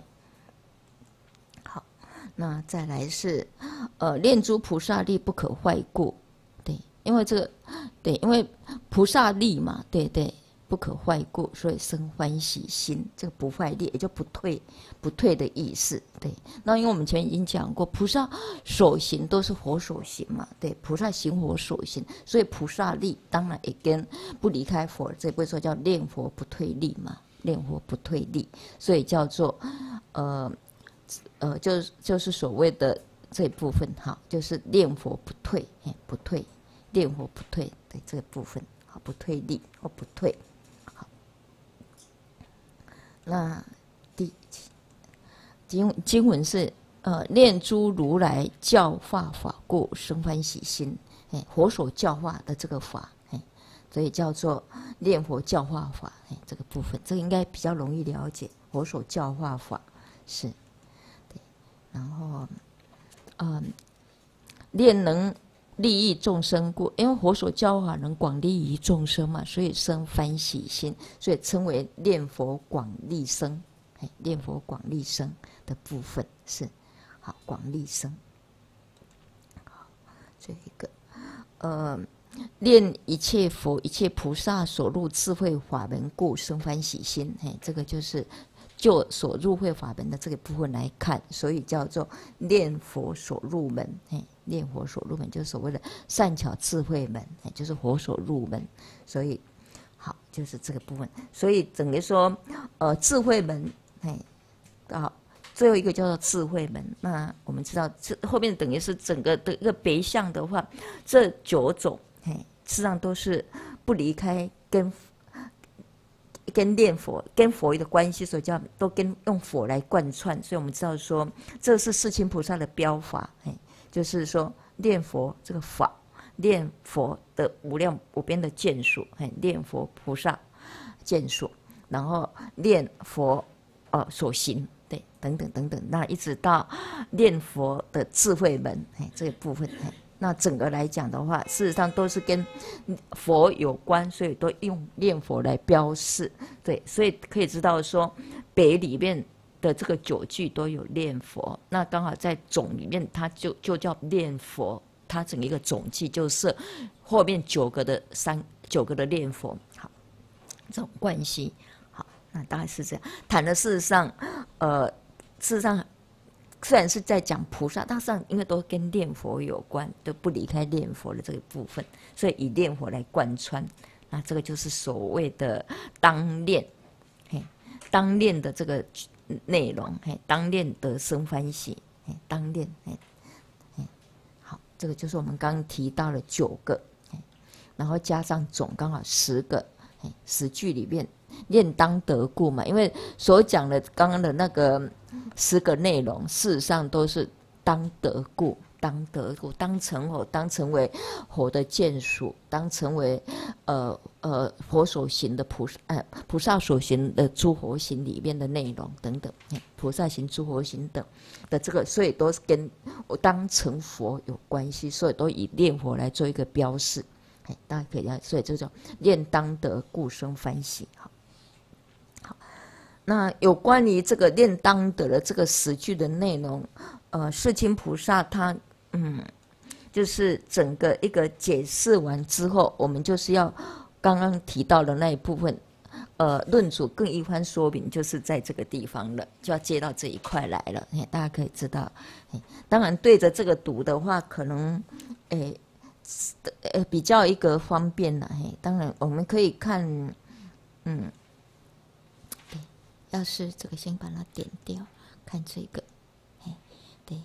是因为我们这刚刚就觉得有点奇怪嘛，里面讲的都是菩菩萨行，那跟念佛有什么关系？他就主要就是说，因为这些菩萨行都不离开佛行，所以都用念佛来标，对，所以可以知道这个问答题就在这个地方，哎，就来解决这个问题，就是看此实际为第一句有念佛，那其他都好像跟佛没关啊，那不是很奇怪？我们看一下经文嘛，你们大家知道吗？第。念佛，哎，还有关系吗？啊，其他念佛法跟佛关，念菩萨，哎，怎么会跟佛有关？念菩萨所行，怎么会跟念佛有关？念波罗蜜跟佛怎么会有关？念菩萨与众殊胜，有哪有什么关系？啊，对这个问题，这个问答题还真的蛮有意思。哎，为什么要世亲菩萨都要标标？这个实际里面都标念佛，那不是很奇怪吗？刚可多少都要标念佛，他就问了这个问题，实际上说尖锐是还蛮尖锐的，明明都好像 跟念佛没有关，为什么世亲菩萨要标念佛？那法藏就要帮忙解释了，对啊，因为他问的是世亲菩萨论主，就世亲菩萨何故用都用念佛来贯穿这十句，那不是好怪哦，对不对？何就是论主何故总称念佛？这十句为什么都要标上念佛呢？那不是很怪？只有第一句比较跟念佛有关，其他九句好像没有什么关系嘛？对呀。也许当时法藏在在讲华严经的史地品的时候，就有人这样问的。对，问问这种这问题还是蛮尖锐的。好，那那那个世界那个法藏，他他怎么去回答这个问题？嗯，这个很有意思的哦。对，论主世间菩萨为什么明明看不到念佛啊？为什么要标念佛？嗯，对呀。这个就是跟那个六相圆融有关，对，一一多相相互依存的那个关系，对，所以它可以相摄，对，菩萨摄佛，佛佛可以摄菩萨，哎的这种关系，所以法藏就在回答嘛，此一一圣无尽缘起无碍相成，六相圆融就在讲一瞬缘起的道理，哎，所以叫做此一一瞬无尽缘起的这个。道理来说明的，所以讲菩萨行跟讲佛行是无碍的，而且彼此相相互成就的，对，相成。好，对，为什么这个就此一一言中，每一每一个每一个每一项每十句每一句是一一元嘛？无不皆是一切诸缘，一法是一切法，这就是一瞬缘起的一个道理。一即一切，大家还有印象吗？一即一切。对对，一菩萨行可以摄无量无边行，乃至摄佛行。对对，等等，好，可以这个成型。好，比如说一个波罗蜜可以实摄波实波罗蜜，乃至摄所有一切一切波一切波罗蜜一切行等。对，就是任何一法，任何一言，无不皆无不皆摄一切嘛。任何一法，任何一个言，都摄一切言一切法。对那我们刚刚讲的那种所谓的一个呃波罗蜜啊，波罗蜜清净行，事实上可以摄一切行。那摄一切行，实上也就是佛行，大家可以了解嘛？就这个意思。对，这个就讲的所谓一圣嘛，一圣缘起的这个道理，实际上也就是一圣法。哎，对，那一圣法实际上所有行，事实上都是无量行，也就是佛行。哎，佛的佛所行，菩萨所行都是佛所行。对。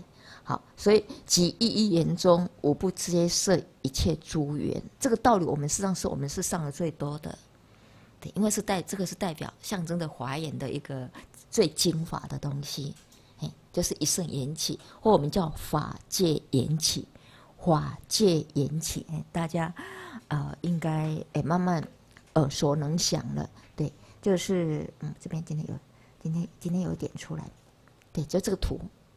这个叫一法，就是一切法，所以一即一切。那你好像一行嘛，比如说一一波罗蜜行，我们讲说，呃，布施波罗蜜，它就是一切波罗蜜行，哎，是波罗乃至说更多一切一切都不离此一个布施波罗蜜，哎，诸如此类，就叫一一一言一一法，皆是皆无不摄一切诸言一切诸法，哎，就这个道理。这个事实上，我们一开始上课都在讲这个东西。所有法眼中的道理，我们都也都在讲这个道，就是说法界关门啊、十玄门啊、五教子观等法眼三昧啊、法界三昧，都在讲这个道。就是这个，就所谓的一圣一圣缘起道理。好，对，就是一圣一圣无尽缘起的道理。对，那那所以实相。这个十句里面，上每一句的话都是依法摄一切法，哎，彼此呃互互骗互摄的。对，那我们可以知道，所以法藏就在帮世亲菩萨解释了为什么十句都要用念佛。他说：“论论子依此，就是依这样一圣无尽缘起的道理，对对，所以回九入一嘛，就记名念回九入就这九个事实上都没有离开第一个总总念念佛嘛，对对。刚刚不讲到第一句就是总嘛，对对对，那就是念佛，总念佛的意思。哎，经文的话就是啊念佛嘛，对，就是这九句事实上都没有离开。那念佛这一句就是后面的九句。就是说这个意思，所以他说，呃，论主依此列故嘛，这个列就是指这个一圣无尽缘起的这个道理，所以回九入一嘛，所以后边的别的这个九句都可以叫念佛，没问题。总句可以设一句，可以设后面的九句，所以九句都可以标念佛的一个意思。好，好，对，好，就所以如初句设九嘛，总句设其他九句。那其反过来呢？其他九句的每一句也都可以设其他九九句，就是复设嘛，对对。所以于一句皆是如此。所以你大家可以了解到，不单只是总总的这一句可以设别的这个九句，其实反过来说，别的这个任何一句也都可以设呃其他八句，还有包括总的这个这一句，所以也是同样叫设九句。可以了解。就任几一个都设九个，哎，不但总设别别的任何一个也都可以设九，另外九个。好，简简单的来讲，就是说我们刚刚讲到的，比如说，呃，念珠波罗蜜清净行这一句的话，可以设其他九个，就包括了念诸佛的总计，还有其他的八，呃，念诸佛法一直都要念诸佛法门的部分，也就是这个意思。所以句句的话。互片互射，所以句句都是无量无边的，哎，这叫这叫做一圣缘起的道理。好，对，所以他讲于一句嘛，就是八九九句的每一个句，哎，都是一样设其他九句，那九都代表无量无边，所以每一句都是都无量无边的。好，所以此即句句之下皆是无尽，大家可以了解吗？此即之下，对，是啊。那以此地法，为什么句句可以互片互摄呢？因为法法如是嘛，就是无尽缘起的关系。那称这样一个无尽，呃，一圣无尽缘起的话，事实上也就是一种陀罗尼法。所以实际上，虽然我们知道说，呃，实地品哈，实地实地法门，它本身是既显在三世，实际上它隐含的就是句句互片互摄。对，所以。都在说明了，事实上就是一个显无一圣无尽缘起的这个道理，所以句句都是无尽的，句句都是无尽缘起等等。那称这个的话，就叫陀罗尼法。所以实地法、实地法门虽然记显在三圣法，事实上表现出来是一个无尽的法界，那这样就进入一圣了。所以既显三圣，一显一圣，是从这边来看的。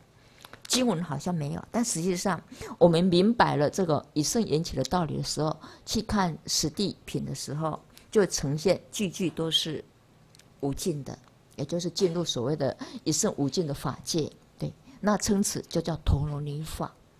陀罗尼法，嘿，好。那那因为虽然这个道理就都在整个经文里面，事实上都有，只是说隐藏起来。我们不容易看得到，对。从我们知道说，要是我们明白这种法眼一生的无尽缘起道理的话，一微尘、一毛孔都是无量无边，更何况已经登地的菩萨的呃智慧啦、法门啦、呃波罗蜜啦等等等等，当然都是无量无边的啦。只要看你能不能看得到而已啊。虽然表达是用三圣法在表达，但实际上句句都是无量无边。无尽的法界，对，那仅仅在陀罗尼章，也不是啊，就是西坛章里面点到而已啊。那西坛西坛章表现就是这个道理。那我们明白这个道理的话，就去看史地品的时候，处处展现出来的都是无尽的法界，不是三圣哦。文字上记显在三圣法，表面上是三圣，实际上。是无尽的法界，那这样就进入一圣了，所以叫即三圣一显一圣嘛。那反过来，三圣没有，哎，一圣没有离开三圣，离开三圣还找不到一圣。那这个就是在一个我们呃前面以前上过那个呃欢喜地里面，哎，前面的那个请分就是西坛章，里面就这个譬喻就来展现这个道理了，对这个道理，那这个还蛮有意思的，他就是透过譬喻，然后点一下这个道理。那实际上，呃，整个十地品的字字句句都是无尽的法界。所以就是从三圣就看到一生了，从西坛世间的那个呃语言文字，就是子音母音的这些关系，就可以展现出这样的无尽法界，也就是所谓的陀罗尼、陀罗尼法，的这种情形。只要是法要华严在表现陀罗尼是比较，这就叫一圣无尽法，就叫陀罗尼。但一般我们把它比较放在真言上。头讲到头，你就总持真言嘛，这样法也没那么狭窄的。它是表现法法都是如此，不但是句句无尽，而是法法行行都是无量无边的，这叫无尽的法界。所以学华严要先掌握这个道理，才过得了关，或或者过不了关的。你看史蒂品就会停留在三圣法而已，就看不到哎句句都是无尽的，行行都是无尽的普贤行。对对，诸波罗蜜行上都是无尽的普贤行法，这个是很重要的。所以为什么观念很重要？因为观念掌握不到的话，很难进入华严。这个没办法，这个没有谈判空间。真的就是零跟一的关系而已啦，没有就是没有。哎掌握不到就是零，对，掌握到就是就是一嘛。对对，没有谈中间没有谈判空间，对，这个跟禅宗的明心见性开悟是有关系的，开悟就是开悟，没有没有悟几次的啦，嗯，对，那当然可能对个人的修行有可以分了好几次了，但是就法来讲呢，没有那么多次了，个人所行可能可以了，但做法来讲，没有，就是有就是有，物就是物，没有模糊地带的。哎，对那学华严也是如此，对我们没有办法掌握这个的话，我们读华严就很容易只停留在三圣法而已。因为整个华严是具显三圣法在说的，从实性、实住、实显、实为相到我们现在讲的实地品，实际上就是这样。所以里面都呃有不少三生的成分，尤其到死地，几乎全面性都是三生的东西。那怎么可以看到华严在西坛上？啊，这个这个是还蛮有意思的啦。那那西坛上要透露的信息，实际上就是一圣无尽法界缘起的道理，也就是六相圆融的道理。对，是啊。所以在呃字字句句、文文品品本身都是一个无尽的法界，无尽的展现，所以称此叫做陀罗尼法，不是只说一般我们讲那个真言叫做陀罗尼而已。好，对，好，所以这个就是说，那当然一。呃，依呃依此类故嘛，上实性为种，乃至实地，还有其他为别嘿等等这一些，那色别入种无不在性中嘛嘿等等，一味也是如此，哎，就是一味摄一切味嘛哈。我们讲到对的实性、实住、实起、实回向啊等这一些啊等对，它彼此互骗互摄的，为什么这样？因为法尔如是。法就是这样，彼此互相依存，然后这种，呃，法尔互相依存的一个关系，是一个像无尽的陀罗尼网一样，哎，无尽的关系网，对，所以叫无尽法界，无尽法界，对。但这个用在，呃，经文的一个，呃，句句文文呐，都是如此啊，乃至行行如此，乃至位位也是如此，都是一法一切法。所以为什么华严的那一种一即一切的这个观念，它是，呃。法如是，然后用在经文的句子也是如此，乃至用在波罗蜜行也是如此，乃至用在修行，乃至用在阶位上，其实都是如此，哎，都是如法炮制，一定不离开他这这个最核心的观念，最核心的观念。那这个核心的观念就是我们一直一开始跟大家介绍的，这个这个图只是帮助我们了解，就是一法，真的有一法，一围城，一毛孔。一行波罗蜜行等等，铁定都是摄一切。不这样的话，这一法不能成立。这一行不能成立，这一位不能成立。对，所以不是理法上如此，理上如此，而是骗所有一切的经文，所有一切的修行，一切所有的阶位。以华严来讲，不说则已，要说的都是一位一切位，一行一切行，一一法一切法，一句一切句。对，一句就是无无量句。那大家可以了解。对，这个就是说，为什么我们一开始在上课会花那么多时间在讲这个道理？那透过法界观十玄门，就是帮助我们去了解这个道理而已，就是一即一切，对不对？好，那乃至我们已经进入到实地品，要了解到，哎，整个实地品表现出来就是一个三圣嘛，但大大生活法而已。但事实上，它文文句句都是无尽的法界，哎，无尽的陀罗尼，一圣陀罗尼法。好，大概先掌握这个的这种情形。好。那这个问答题问的真的还蛮尖锐的，不过华藏还是可以招架吧，因为他精通华严，他能够对他用这个东西来回回应了，也帮世亲菩萨解套嘛，对的吧？是好，对，这样，因为我不然我们看着有点莫莫名其妙，明明里面都没有什么念佛嘛，那怎么用念佛来贯穿一切这十句呢？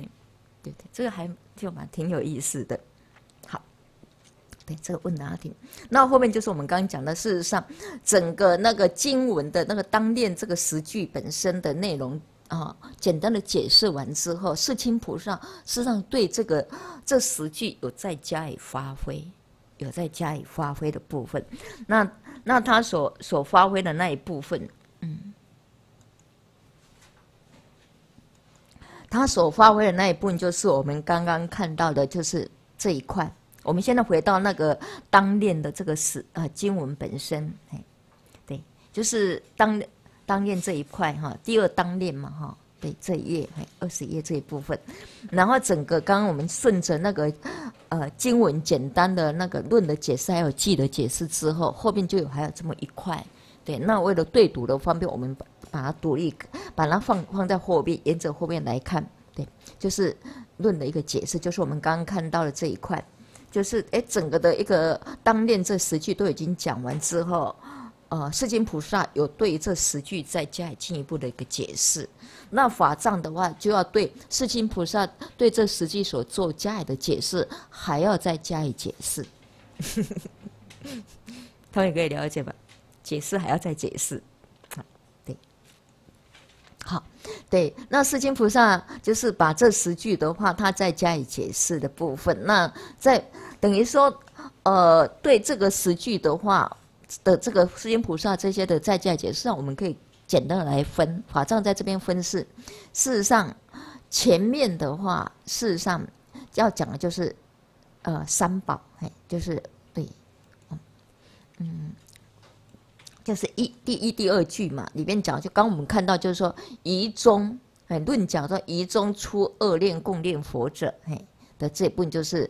为以此中前面的两句，哎，十句里面的前面的两句都是属于那个呃念念佛这一块，嘿，对，那分成念佛念法，哎，就是所谓的两个，对，好，就是念佛念法，那这个同大家应该可以知道，就是我们刚这个可以搭配的里面的 word 等来看，对，就是法藏那。呃，世经菩萨讲的就是，哎，这个就是全二句嘛，哈，十句里面的全二句就是所谓的共念佛，就念佛念法，指的是念佛念法。那法藏对世经菩萨这一块就会解释，哎，对，解释，对，论云，对，好，对，好，就是对，就是这个部分，好，就就比较属于。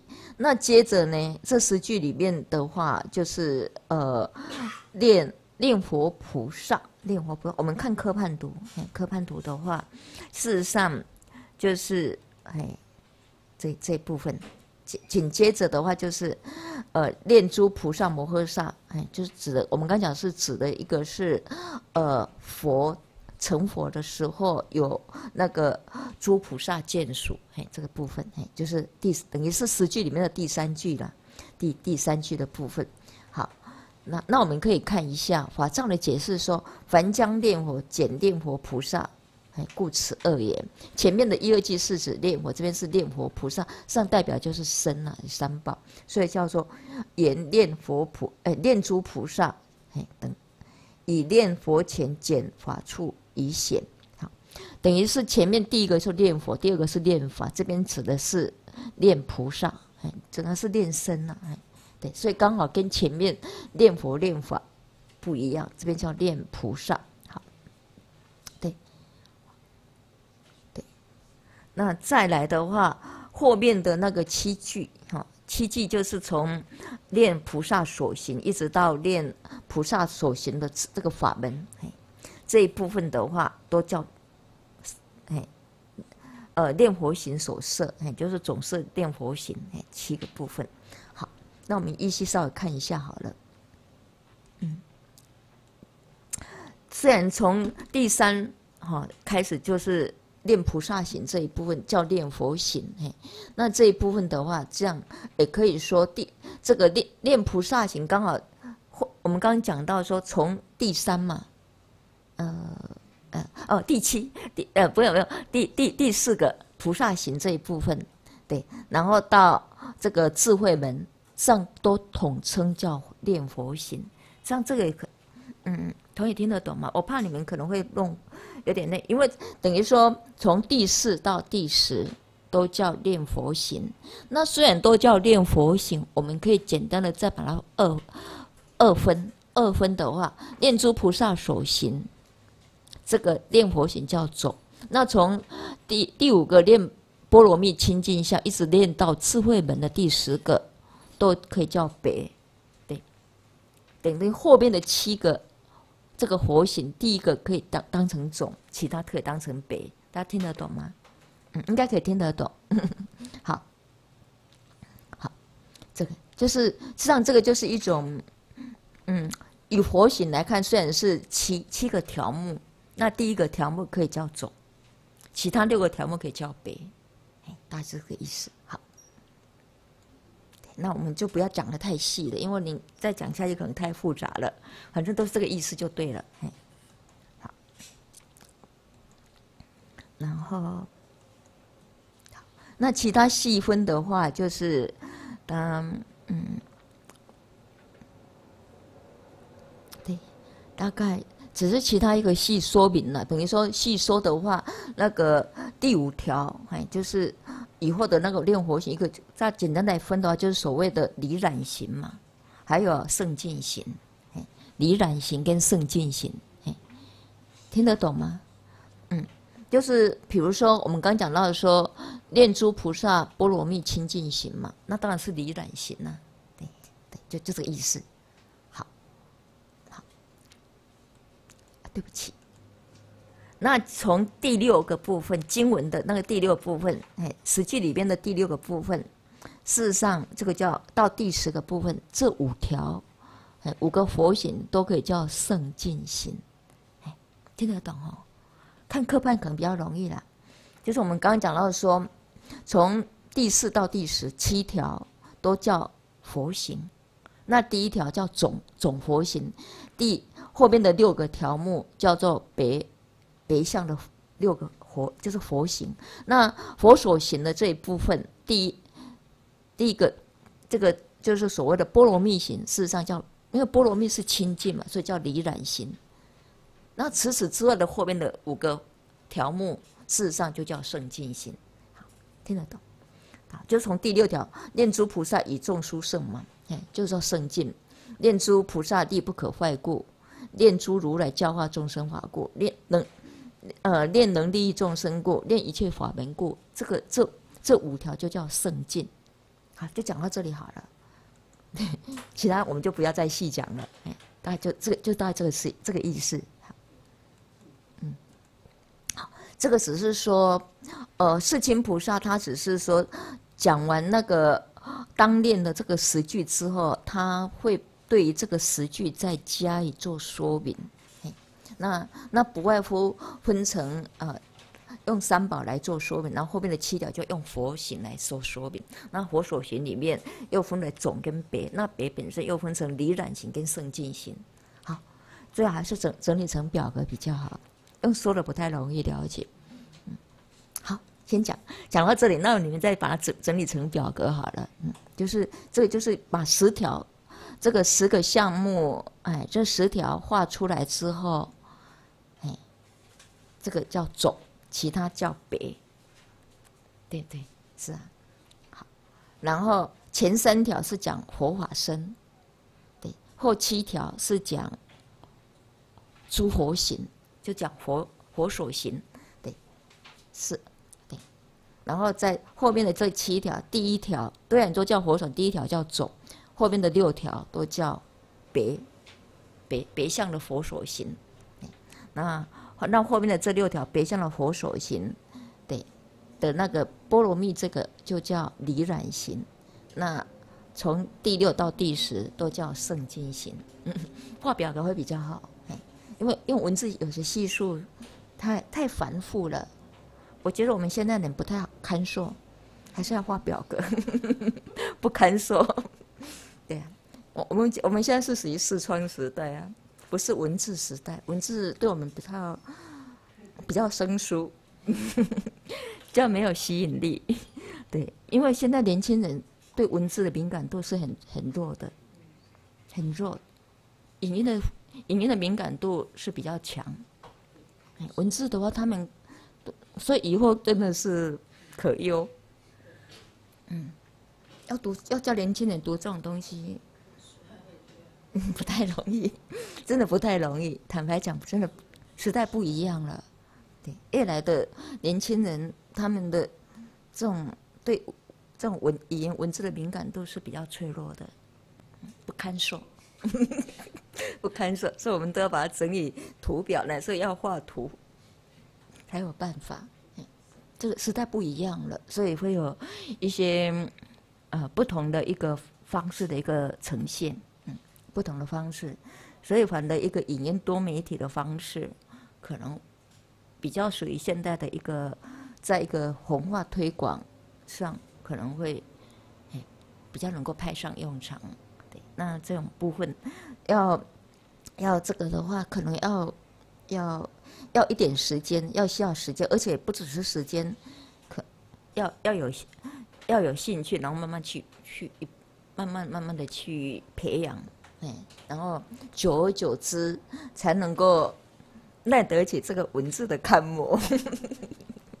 对啊，不只是经，还有论啊，还有记啊，还有书抄啦，对对。乃至以史地品来讲的话，史地经论的话，在南北朝几乎可以说上百家的论论师在在在解它哦，是上上上百个论师有，你可以知道说那种是洋洋洒洒的，而且各种说法肯定都不呃很多都是不一样的，对。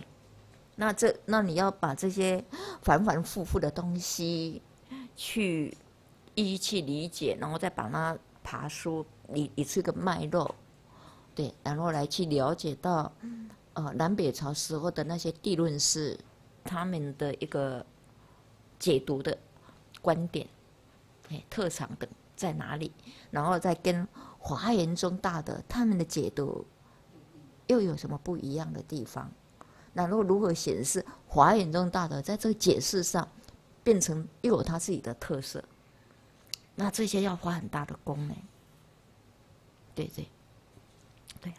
那我们刚刚讲到类似刚刚的问答题，世亲菩萨哎说用火炼火来解释啊，对对。那哎大大德他们就会帮世亲菩萨做一个 说明啊，对不对？当时是因为觉得应该没有必要啊，对不对？可是我们就后面写写人就有疑问了。不然你们看到这么多烈火怎么办？我们明明都跟烈火没关系呀，对对。那在这种这种情况之下，就有人要帮我们解答这个问题了，对对。就好像那一种赛跑一样，接力赛嘛，一直接棒下去的，对对。那法藏他们当时他一定有面对到这个问题，所以在这边就刚好这个问题就提出来了嘛，对不对？是啊。那我们现在在读，也可能还有其他问题会产生啊，那就要继续解解解读下去啊，对，解这个这些疑问呢，乃至我们刚刚讲到很多都读不懂啊，不堪文字模，那我们又要变成要画图啊、画表格啦、画什么的，做一个辅助的一个方式啊，这个就会变成因应不同的时代的一个需求，它有一种呃不呃不同的一个应应的一个方式，哎，这个就是一个呃所谓的一个法法的一个传系嘛，灯灯相续的一个一个需要，哎，所以每一个时代有每一个时代的任务。要去要去承担的，要去做的事情。好，那我们刚刚已经大类的，就是把那个当练，哎，这十种，哎，简单的，其实好像也不简单了，已经大概就跟大家做了一个说明，就是说，哎，嗯，对，就是在当念，只要总来说，当念成佛了，那其他都是对于当念成佛的那个呃辅辅助的一个说明了。北向那个就是这个说明的这部分，所以叫同样想要当念成佛，所以生欢喜心。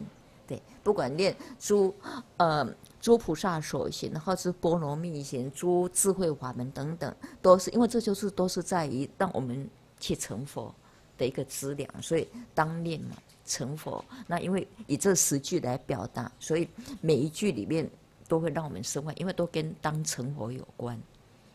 当面成佛有关，那后后面其实后面也是很精彩的。那好像我们还是要休息一下。嗯，好，那我们现在进入那个那个 呃欢喜地的这个视频的第三个部分，就是练现得喜对，这个喜就是生欢喜，所以称为所谓的一个呃欢喜地，欢喜地，欢喜好。的这一部分，那同样有总跟别，练现得生欢喜，总共有有有有十句，十个句子。那我们看经文，我看一下，好，经文就这个，就这十个，对，也就是说，在呃登地菩萨他本身现得上，他所呈现出来的，对，我我转离一切世间。境界生欢喜心，大家可以注意到转离哦，也就是说，原来我们是所行所为都跟世间法相应嘛，现在转离了，都行行念念法法都跟佛法相应，这叫转离，对对，呈现出那个所谓的过凡夫地嘛，在凡夫的时候，我们念念中都是跟世间法在打交道。在相应，跟六尘道相应。那这边的话，念念中、行行中，事实上都跟佛道相应，所以叫转离一切世间境界，生欢喜心。念念念念与诸佛菩萨打交道，对对呀，这个所谓我们讲到入菩萨行位嘛，对对，等于是入圣者位等这一部分。所以这个，因为登地菩萨的话，我们刚刚提到，事实上。他所行所为都是顺着佛法，顺应着佛法来行做的，所以叫转离嘛。对，那那未登地前的，就是我们属于凡夫嘛。他上我们所行所为都是跟世间法打交道，在跟世间法相应而已了。对，这个是一个很关键的地方。所以为什么呃登地菩萨一登地，他叫欢喜地，因为念念都与佛法相应。念念都与诸佛菩萨打交道，对，不是以六道打交道，对，那就不一样了。那我们呢？我们念念就以六道打交道，以以世间六尘打交道，所以我们不开心。好，大概就这意思。所以可可以说，第一句话也是一个种啊。那其他九个。就是呃，详细说明了这个转移一切世间境界的这个内涵，对，比如说入一切佛平等中生欢喜心，哎，因为入嘛，对，已经进入佛法，那呃一切佛平佛法中，实际上讲的就是一个平等法、一位法、真如法，对，所以生欢喜入嘛，你可以知道转离，也就呃入一切佛法平等当入转离哈，然后。远离凡夫地生欢喜心，对，远离嘛，对对，哎，远离就是转离了这个凡夫嘛，所以生欢喜地。好，见见智慧地生欢喜心，因为离佛佛的智慧地越来越近，当然我们就就生欢喜。登地菩萨生欢喜，断一切恶道生欢喜心。哎，因为已经没有不会再跟恶道打交道，当然是断掉了。断一切恶道，所以生欢喜心。以一切众生作依止，生欢喜心。对，是。因为登地菩萨能为为一切众生所依止，为从众生导师啦、传啊等等，这些就是他的本身能为一切众生所依止，嘿，对对，所以生欢喜心，尽见一切诸佛，嘿，等于哈，对啊，就是离见我越来就会，哎，不离不久的将来就要得见一切诸佛得，所以生欢喜心，生诸佛境界生欢喜心，嘿。是入一切菩萨树生欢喜心，哎，离离一切恐怖生欢喜心。这个就是，呃，经文的话，它会有十种，哎，这个所谓的现练现德而生欢喜，这个都是呃登地菩萨此时此刻他本身的一个。的一个情况，哎，就转移世间啊，呃，呃，入一切火平等啊，等等，一直到离一切恐怖啊，等等，这个就是经文的一个直说的部分是。然后经文比较特别的，它后面接着，它对于离一切恐怖生欢喜心，它花了不少篇幅来解解释，就叫重分别。先把这个几个列出来，然后针对这个恐怖的这一部分部位的这一部分，事实上再加以详细论述。这个经文很特别的地方，大家应该看得到吧？哎，对对对，就是好经文的部分，我们可以知道说，哎，呃，第十条不会讲离一切恐怖生欢喜，那种。所以者何？问的为什么离一切恐怖生欢喜心嘛？是菩萨得欢喜地，所有部位皆即远离嘛？对对，就是远离一切恐怖，就是说登地的菩萨已经没有这些六道部位等这一些了，所以所所有一切部位皆即皆远离嘛。所谓这些这些部位是哪一些呢？不活位、恶名位、死位。堕恶道位，大众威德位，所以离离以上的这些种种位叫离如是等一切诸位，对，这叫远离一切部位。哎，内容就是细说的话，就有这种五种五种位，嘿，不活、恶名、死、堕恶道、威德等这些。好，那经文更特别的，针对这五种位，又一一再加以解释。那其他条没有啊，可是这一条就特别特别嘛，就叫重分别，哎，重分别，对。那对这五种位再一一再说明，因为我们要先把经文先带出来，你们比较不会呃一下子跟着论啊记啊，又走走迷掉了。对，先讲讲简单的，先讲经文的部分，大家就你们就跟跟着你们文本先看经文的部分，对对，就是他把这个。呃，这五种部位哈列出来之后，对这五种部位一一再加以说明。对，比如说什么叫不活位？何以故？什么叫不活位？就是是诸菩萨离我相，因为登地的话没有偶像了。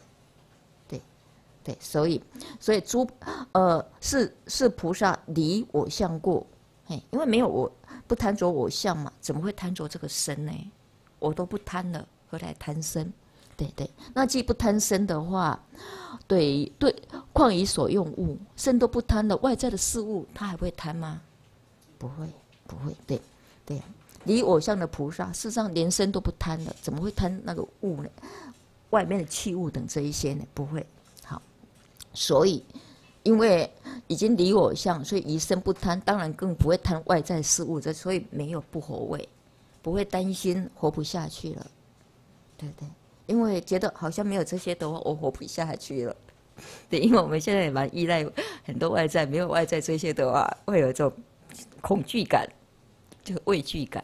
那菩萨的话，身都不贪了，怎么会贪这些外在的事物呢？所以没有不活位，因为我们是有外在这些来滋养我们本身嘛。那身都不贪的话，当然比较不会有这些的一个呃威威胁。哎，产生一种恐惧的一个情形，这个叫做哎不活位，就是因为菩萨登地菩萨已离我相，所以不贪着我嘛，对对，一生都不贪，何况贪身外之物，所以不会，这叫没有这个不活位。那再来呢？什么叫恶名位？恶名位，经文的解释是，呃，心不希望恭敬供养，对，不希望恭敬供养，而且不但不但不期望说人家来供养他，而是反过来他要供养众生，对不对？当一个大叔、大施主一样，就是来供养一切众生。所以说我应供养众生，供养所需，对对。那既然自己。不会去贪求什么的情况之下，乃至供供养等这些，当然就没有所谓的这种恶名位的，对对？恶名来自于我们会有所贪嘛，哦等等那一些才会招感这一些。那呃自己所有都能够施以出去的这种情况之下的话，当然就比较不会招有这种恶名位的这种情形。嘿，无恶名位，就是因为呃好。那至于呃什么叫死位？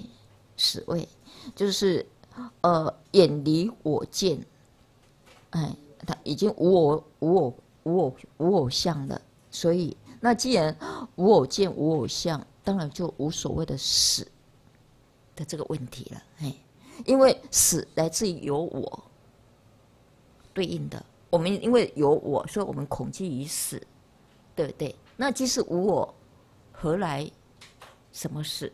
何来对死的一个恐惧，所以我们知道说死的一个恐惧性来自于我，我，我的关心，因为有我，所以我们会害怕。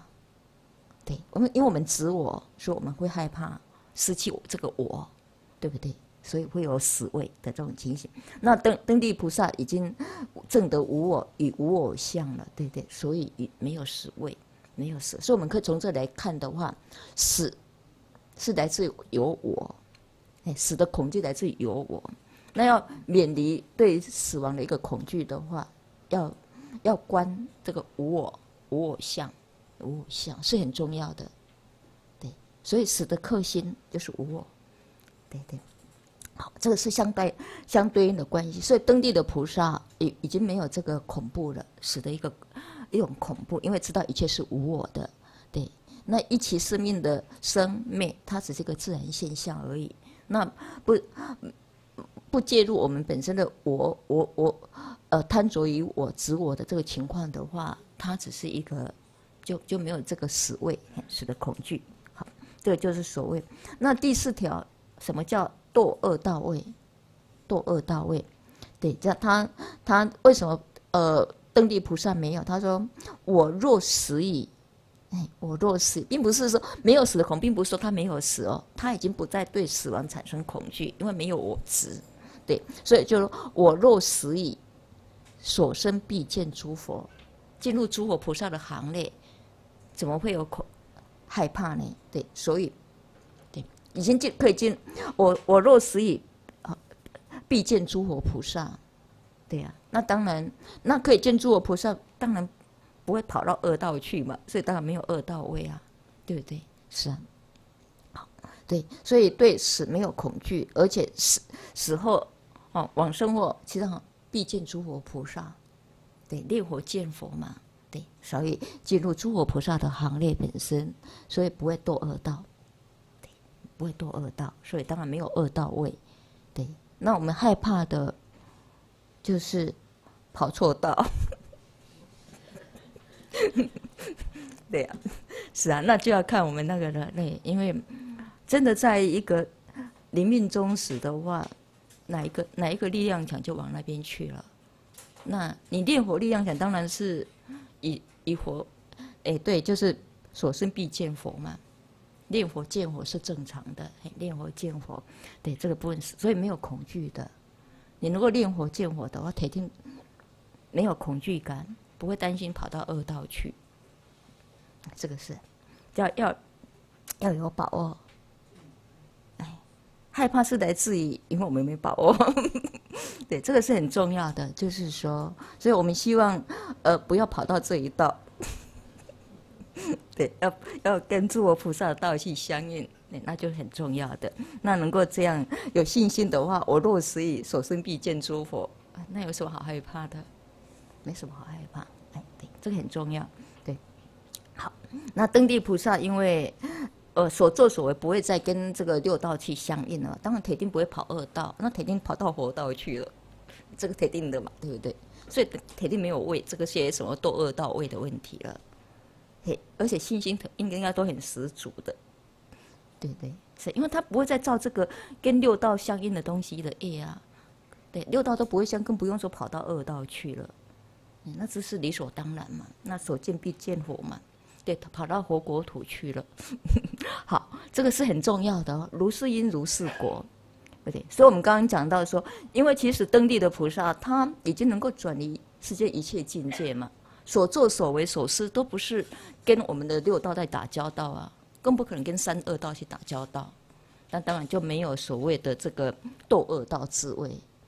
对，那不没有在跟这个二道、三道啊、六道等这些打交当然是理理所当然，当然是跟佛道打交道啊，对对，所以所见死后所见必定是见佛，对对呀，不然的话义理就不通了，因为他已经不会再再跟这些对对相应了嘛，那当然所相应出来转离嘛。对，入一切佛平等法嘛，那当然是跟佛法打交道，跟诸佛菩萨打交道，所以所见必定是诸佛菩萨。对，这信心应该是很十足的。对，对。那我们没信心，因为我们都都在跟世间打交道，乃至跟恶道打交道，像这是我们没有信心的地方，也就是我们恐惧的地方。对对，我们没把握。因为我们一直在纠缠在这个六道里面，而且不好还在在三道中纠缠不已，对，那当然就会有堕恶道位，哎，都恶到位的这个情形，是啊，那是啊，好，这是就是如是因如是果了，对，所以要明白这样一个因缘道理，就是我们知道说你想去哪里。那我们透过道理了解，我们就建立起一个正知正见的一个正确的方向，往佛道走，嗯，不是往六道走，更不要往三道走，对，这个是跑不，对，就是这样，如是因如是果，你念念中都是以佛法在打交道，对，那当然就那个正能量就一直往那边去了，铁定是这样的。对这个力量强的话，临终的时候，除非有意外，不然的话，铁定这个都是现钱的。哎意外就是可能我们无始来那因缘果报跑不掉，那就，那就接受吧。是啊，对，是啊，这个就是真的有这个意外，不然的话，应该你的念念中都往这边的话，那应该那个量应该是，那个正能量应该是很强的。哎，对，都在呃佛光的一个普照下。所以不用担心，那担心是我们念念中是远离佛道，都往六道里面在跑。那当然就是这个，就是我们所担心的地方。那往善道去，那还不错。最怕是跑跑到恶道去。对，那尤其地狱道的话，人间的一天一夜就已经是万死万生了，而且那种苦根本没办法说出口，那才是真的苦，对不对？对呀。在地狱里面是人间只是一天而已哦，一日一夜在地狱已经万万死万生了。你可以想的是，而且每一生的每一生的那种苦都不堪言。人间一天的话，第一是万生万死，万死万生。所以那苦不是我们人间我们用人的那个想象可以想象的。对。好大家可以了解到，呃，明白道理的话，实际上就知道说，凡事不是开玩笑的，真的一点都不开玩笑。是，好，对对，这种情形就是比较知道说，呃，明白道理，那我们也比较知道说，哎，应该朝哪个方向目标去努力，哎，对我们还未登地者。对，未登地者一个掌握一个方方向盘，掌握一个方向盘的这个地方，然后把把时间、体力、力气，就好好的耕耘，去跟诸佛菩萨打交道。哎，所以死后必见诸佛菩萨。你的你的力气往这边了，那铁定死后必见诸佛菩萨，那没问题的。哎，这个这是个基本的道理，哎，也是我们对自己一个最基本的一个信心。哎，对，好，那那再来的话就是，哎，什么叫大众威德位？大众威德位，对，为登地者的话会有大众威德位，对，也就是不如人家，不如不如的那个状况。那可是登地的菩萨，我们可以看经文的解释说：“我所自乐，无与等者。”没有东西在比我所写的还更超过、更殊胜的了。那当然没有大众威德位，因为你的所学都是无上正等正解的大法妙法，对不对？那当然哪有什么恐惧的？没有，对，所以我所知的，无与等者。哎，对呀。而且无与等嘛，而且比一切远远都有超超过，对呀。所以是故无有大众威德位，对，因为你所学的都是一等一的嘛，对不对？好，就就是这个意思。好，对对，这个就是等于经文蛮特别的，它不单把那个远离一切恐怖的那个部位的内容哈，用这五项讲出来，而且对这五项又做一个比较仔细的一个说明。对等于说，呃，第十句哈，这个第的这个第第十个项目里面就比较特别，所以会在加以做说明的地方，对，是啊。那对于我们对经文的一个分法，实际上可能用这种方式分会比较好，就是直直说经文直说，把这个十句先列举出来，那针对后面这一句再做一个细密详述的解释，就叫重分别。对那个部位的部分再加以说明的部分，这样拆经文会比较容易。那我你们手手上的那个纸本不是很理想，嗯，那也没办法，因为我想暂时都不用调它，以后再一起调动。好，哎，好，那我们这个，我们现在来看那个这个，呃，练现德所生的那个欢喜，嘿，那一一细把它看过来，嘿，第一条，我我转离一切世间境界，就是一个种。哎，练现德本身的一个种的部分，对，就是经文的话，就是这么一条。哎，我转移一切世间境界生欢喜心，应该对得上嘛？哈，哎，可以，那就好。嗯，嗯，好，要不要点一下？没关系，点一下。不过好，二十五。对，好，我这可能有点跑掉。行对，就是这个部分。经文的话，好，就这个好。我转移一切世间境界生欢喜心，哎，这一部分就是，呃，法藏讲就这一条，就是第一条就叫种嘛，对对。那后面的九个就是属于我们讲的，一直讲的那个别，哎，种别的那个别，就是这部分。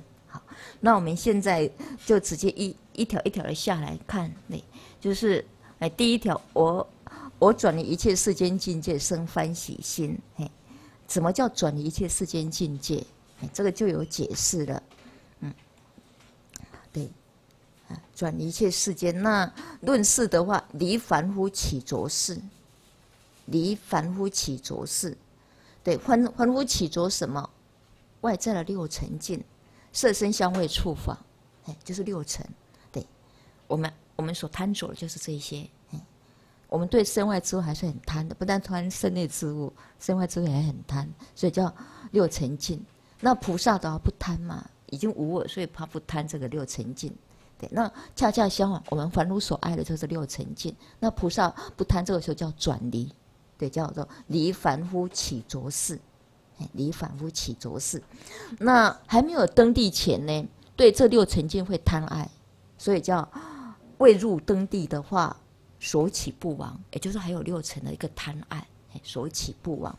对，那像那个维世三十颂里面，啊，相相关的一些论里面就谈到嘛，现前利少物嘛，会是维世性，就指这个意思。因为还没有登地，那种种这些事事色，其实还是有的。对，就是还是对。那进入出世，就是等的，则是说登地菩萨已经进入。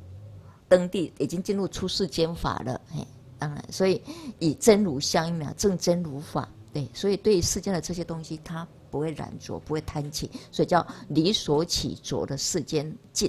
世间境呢，讲的就六尘境，也就是我们刚刚讲的色身香味触法。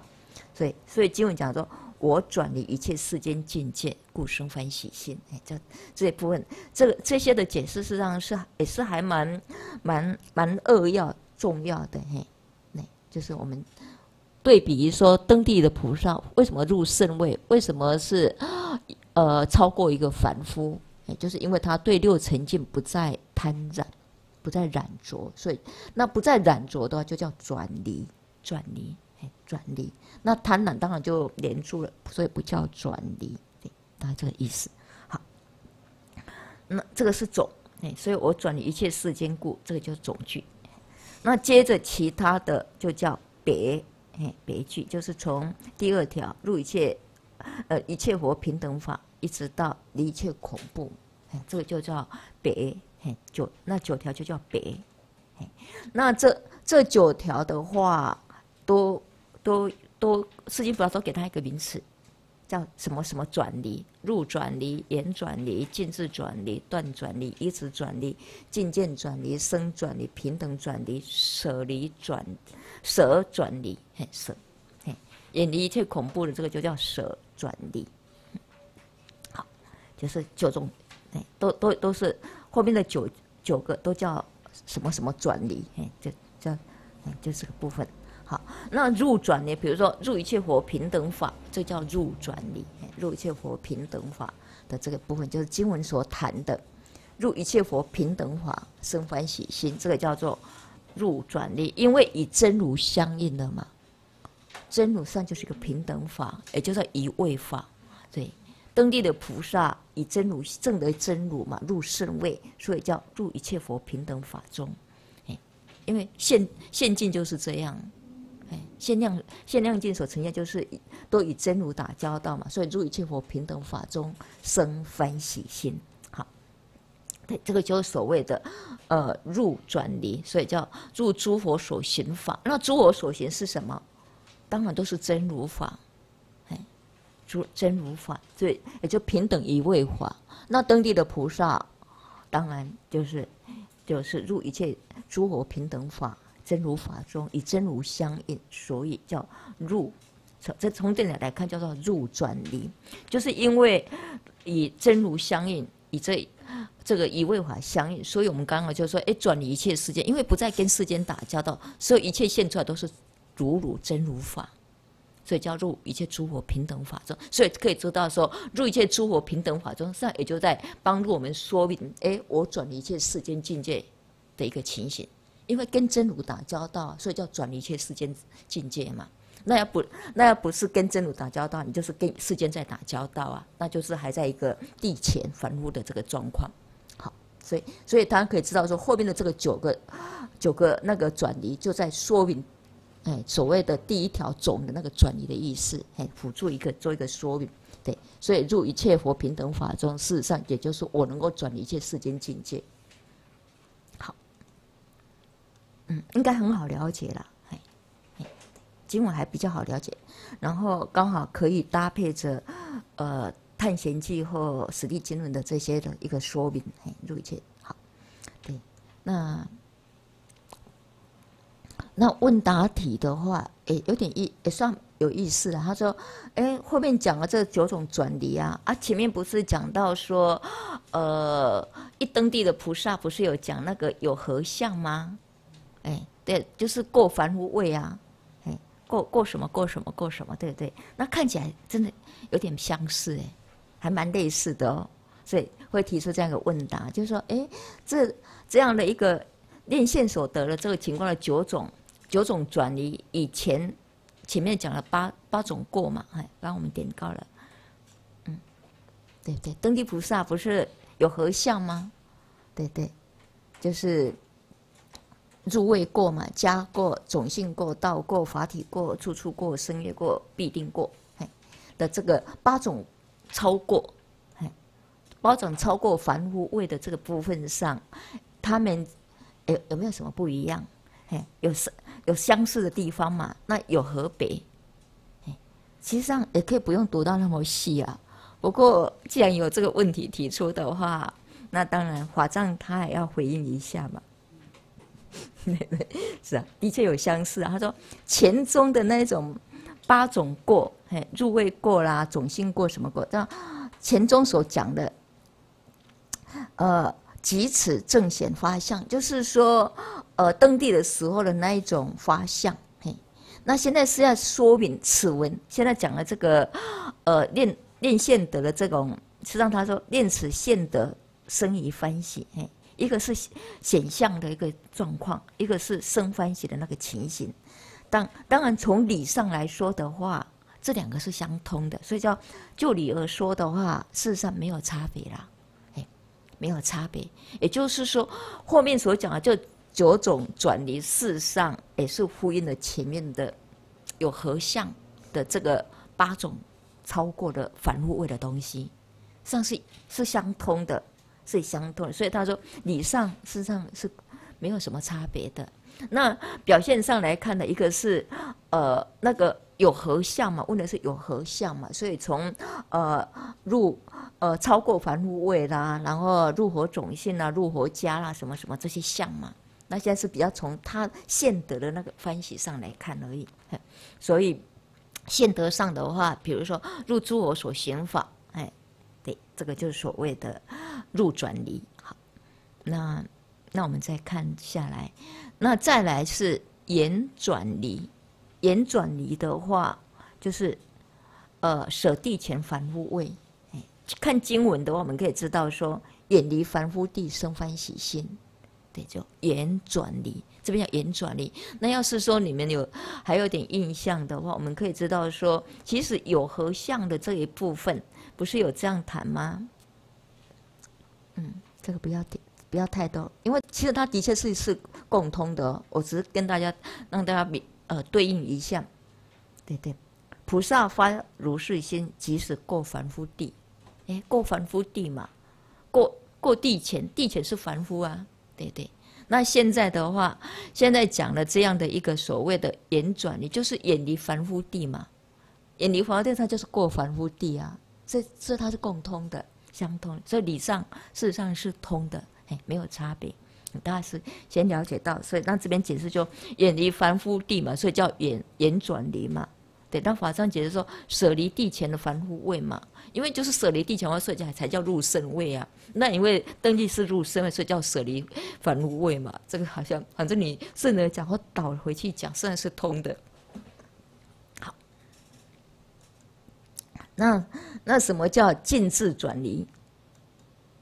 尽智转离经文的话，我们看经文，尽智慧地生欢喜心。哎，因为已经越来越来越接近那个呃佛佛智地的，所以到到出世嘛，对，出世圣智地嘛。因为登地的话就已经进入了圣位，所以呈现出来就是说圣智慧。圣智慧地，哎，圣出世出世间的一个智慧地，所以叫也叫尽智慧地的部分。好，尽智慧地，所以这个叫给它名字叫做尽智转离。那断转离的话，什么叫断转离？因为不再跟恶道打交道嘛，不再跟六道打交道，所以叫断转离，断一切恶，断一切恶，所以叫做离分别烦恼恶趣业果嘛。因为不再做这样的一个种下这样一个呃六道的这个烦恼因嘛，当然也不会有，或是说恶恶道的这个种子，当然也就没有那个恶趣的果，对对是。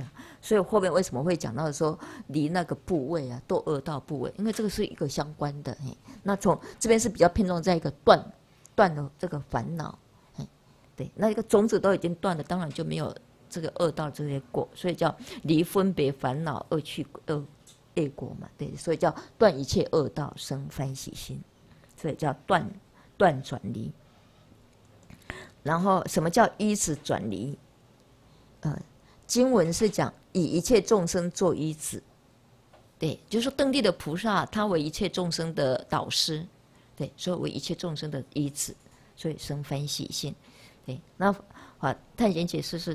堪以众生做依止嘛？对，是啊，可以，呃，当我们的一个领队一样，哎，做我们的依止哎所在。这个就是所谓的依止转离，依止转离的部分。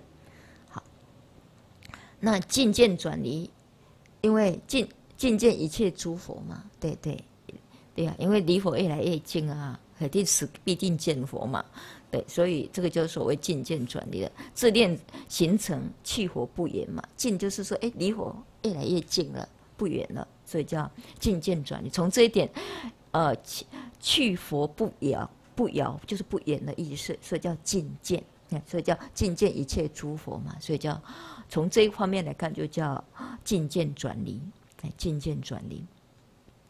那什么叫生转离？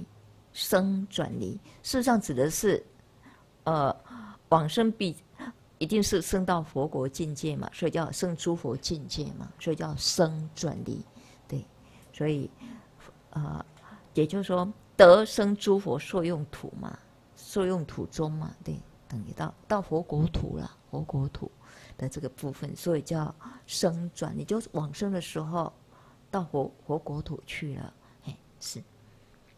所以刚不讲那个部位说说，哎，死必见诸佛嘛，对对，诸佛菩萨。那平等转离呢？平等转离是经文上讲，入一切菩萨树生欢喜心。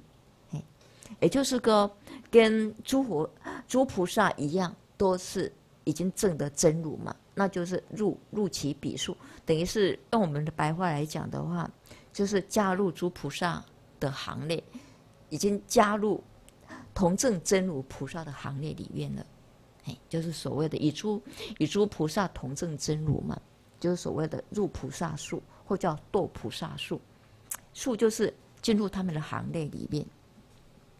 好，就入菩萨，呃，菩萨树的一个部分。好，这个叫做呃平等平等转离，嘿，因为同证同证真如嘛，所以才叫平等平等的意思。好，那我们可以再看最后一个，后面再来细说了，嘿，呃，舍转离，嘿，舍转离就舍离种种的部位，嘿，就是刚我们提到那个离一切恐怖生欢喜，就叫舍转离，哎。所以，呃，别的这个九个部分刚好就是，对，就是世间菩萨都用转离转离什么转离，对，就用舍舍转离的部分。好，那要呃在再来的话，就是呃一一的要做一个比较细的一个说明。哎，那我们看一下那个，哎，对，刚刚我们只是做一个比较。呃，简单的一个一个一个说明一下，就是说，这样就回到你们刚刚那个呃，应该一开始的地方了，就是现得欢喜本身的一个十种转离。刚刚我们是把经文，然后呃配合法藏，简单的先解释。哎，就是我们一开始不是讲到呃第一第一个条目讲了，我转离一切世间生欢喜心，这个叫种，对，离离。离世，离世间的六尘境，哎，对部分，好，同学应该对得起来，好，是那解释这一部分已经有有解释过了，对，就是比较属于刚刚我们提到，因为，嗯，就是不再贪婪世间，所以叫转移世间一切，这个应该很容易了解，对，六尘境是为凡凡夫所染所贪婪的地方，好，那其。呃，接着的话，其他的部分就其他九条，就是我们刚实际上也是有简单的谈呐，对。那我只是说，现在的话，我们是把它刚好论跟记的部分再搭了看一下，哎，就是所谓诸一切诸佛平等中生欢喜，那世间菩萨叫入转离，也就是念经的这一部分。好，那至于就呃，探险记解释说。嗯，入诸佛所行法中，哎，入诸佛所行法中，那诸佛所行当然是平等一位法。那至于差别的这部分，我们刚才也稍微解释，就说，哎，跟前面的有合相、有类似的部分，哎，大家可以看一下。嗯，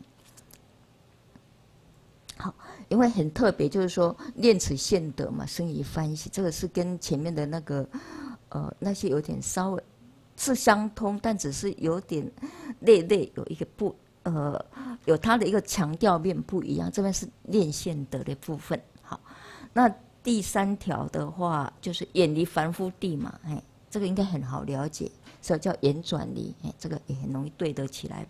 那尽智转离的话，呃，对，因为都是世亲菩萨的一个，哎，就叫尽智转离。那只是说到呃入圣位，所以入出等于入出世间了，到世出世间法，哎法了，对，断断一切恶，所以叫断转离，离分别烦恼恶业。那第六个。以一切众生做依止，这个也好了解。看以一切众生做依止，好。然后第七个，境见一切诸佛，哎，自行自恋形成嘛，去佛不远，应该也很好了解。好，因为世间菩萨他只先把那个题目标题先定出来而已了。哎，那法藏也顺着稍微解释一下，圣诸佛境界讲的就是生转离嘛。哎，对，因为等于是登地的菩萨，他已经可以得到。受用土，对，就是诸佛受用土，哎的这个部分，自受用或还有他受用土的部分，哎，就是所谓的一个生，哎生，哎，对，一个他的报，登地菩萨的那个报，哎，得诸佛诸受用土，哎，也就佛佛国土的意思。好，第九个是入一切诸菩萨树，哎生欢喜，哎这个也很好了解，一切菩萨同证真如。第十个是离一切恐怖，所以叫舍转离，哎，哎，就是舍转离，哎，好，当然也叫转离舍，不过顺的来讲，应该还是舍转离，哎，念起来是舍转离，舍转离，因为是因为因为转移都放在后面啊，那为什么变成这个？是不是在排版或文版上有点小出入？因为我们要对应来看的话，应该还是放在舍转移，好。就是就是想试的远离一切恐怖嘛，对，好，那因为因为这个就是要跟大家再加以说明一点的，就是说整个呃把这个念现得的这个十句哈经文的部分，然后释经菩萨把它用什么什么转离，哎来表现出来，那啊那法上稍微解释，那后边的话就会针对这十条再加以说明的，嘿。这一部分就是我们刚刚讲的，像那十条的话，就是要分的话，有直说，把这十条都整个再加以说明，然后对最后一条再重分别，他可以了解吗？对，不然的话你们会接不上去的。对，这个就是说，我们一开始为什么要先带经文的部分？经文的话，这十条整个标示出来，这叫直说。对然后针对后面一条再加以说明，这叫重分别。因为因为在以一个《探险记》的一个结构上来，它因为顺着经文还有释经菩萨这一部分，刚好把这十条标出来。对，然后后面再说啊，这十条啊可以分两个部分来解释。第一个部分叫直说，第二个部分叫重分别。那重分别部分并不是说十条都重分别，只有。第第一条只有一条，对，这样你们才能够了解。那那这个表格的话要画，我还在思考要怎么画来呈现会更好。哎，那我们现在不动它，就先维持哎这种方式，就是知道说，呃，简单的经文的这个十个条目，然后然后事情不会用转移来把它答应出来，嘿，先先配对出来，然后后面就直说。重分别的部分，所以为什么说把呃一一系的这十条一一哈，释音菩萨再加一解释，实际上就回到直说那十条的部分。这个这个是我加进去的，哎，就是文中的话这十条哈，我们知道说先谈这一部分，所以啊刚好有十个对，那那这十条都讲完之后，会叫一个重分别。对重分别的一个部分，以这样你们就知道了。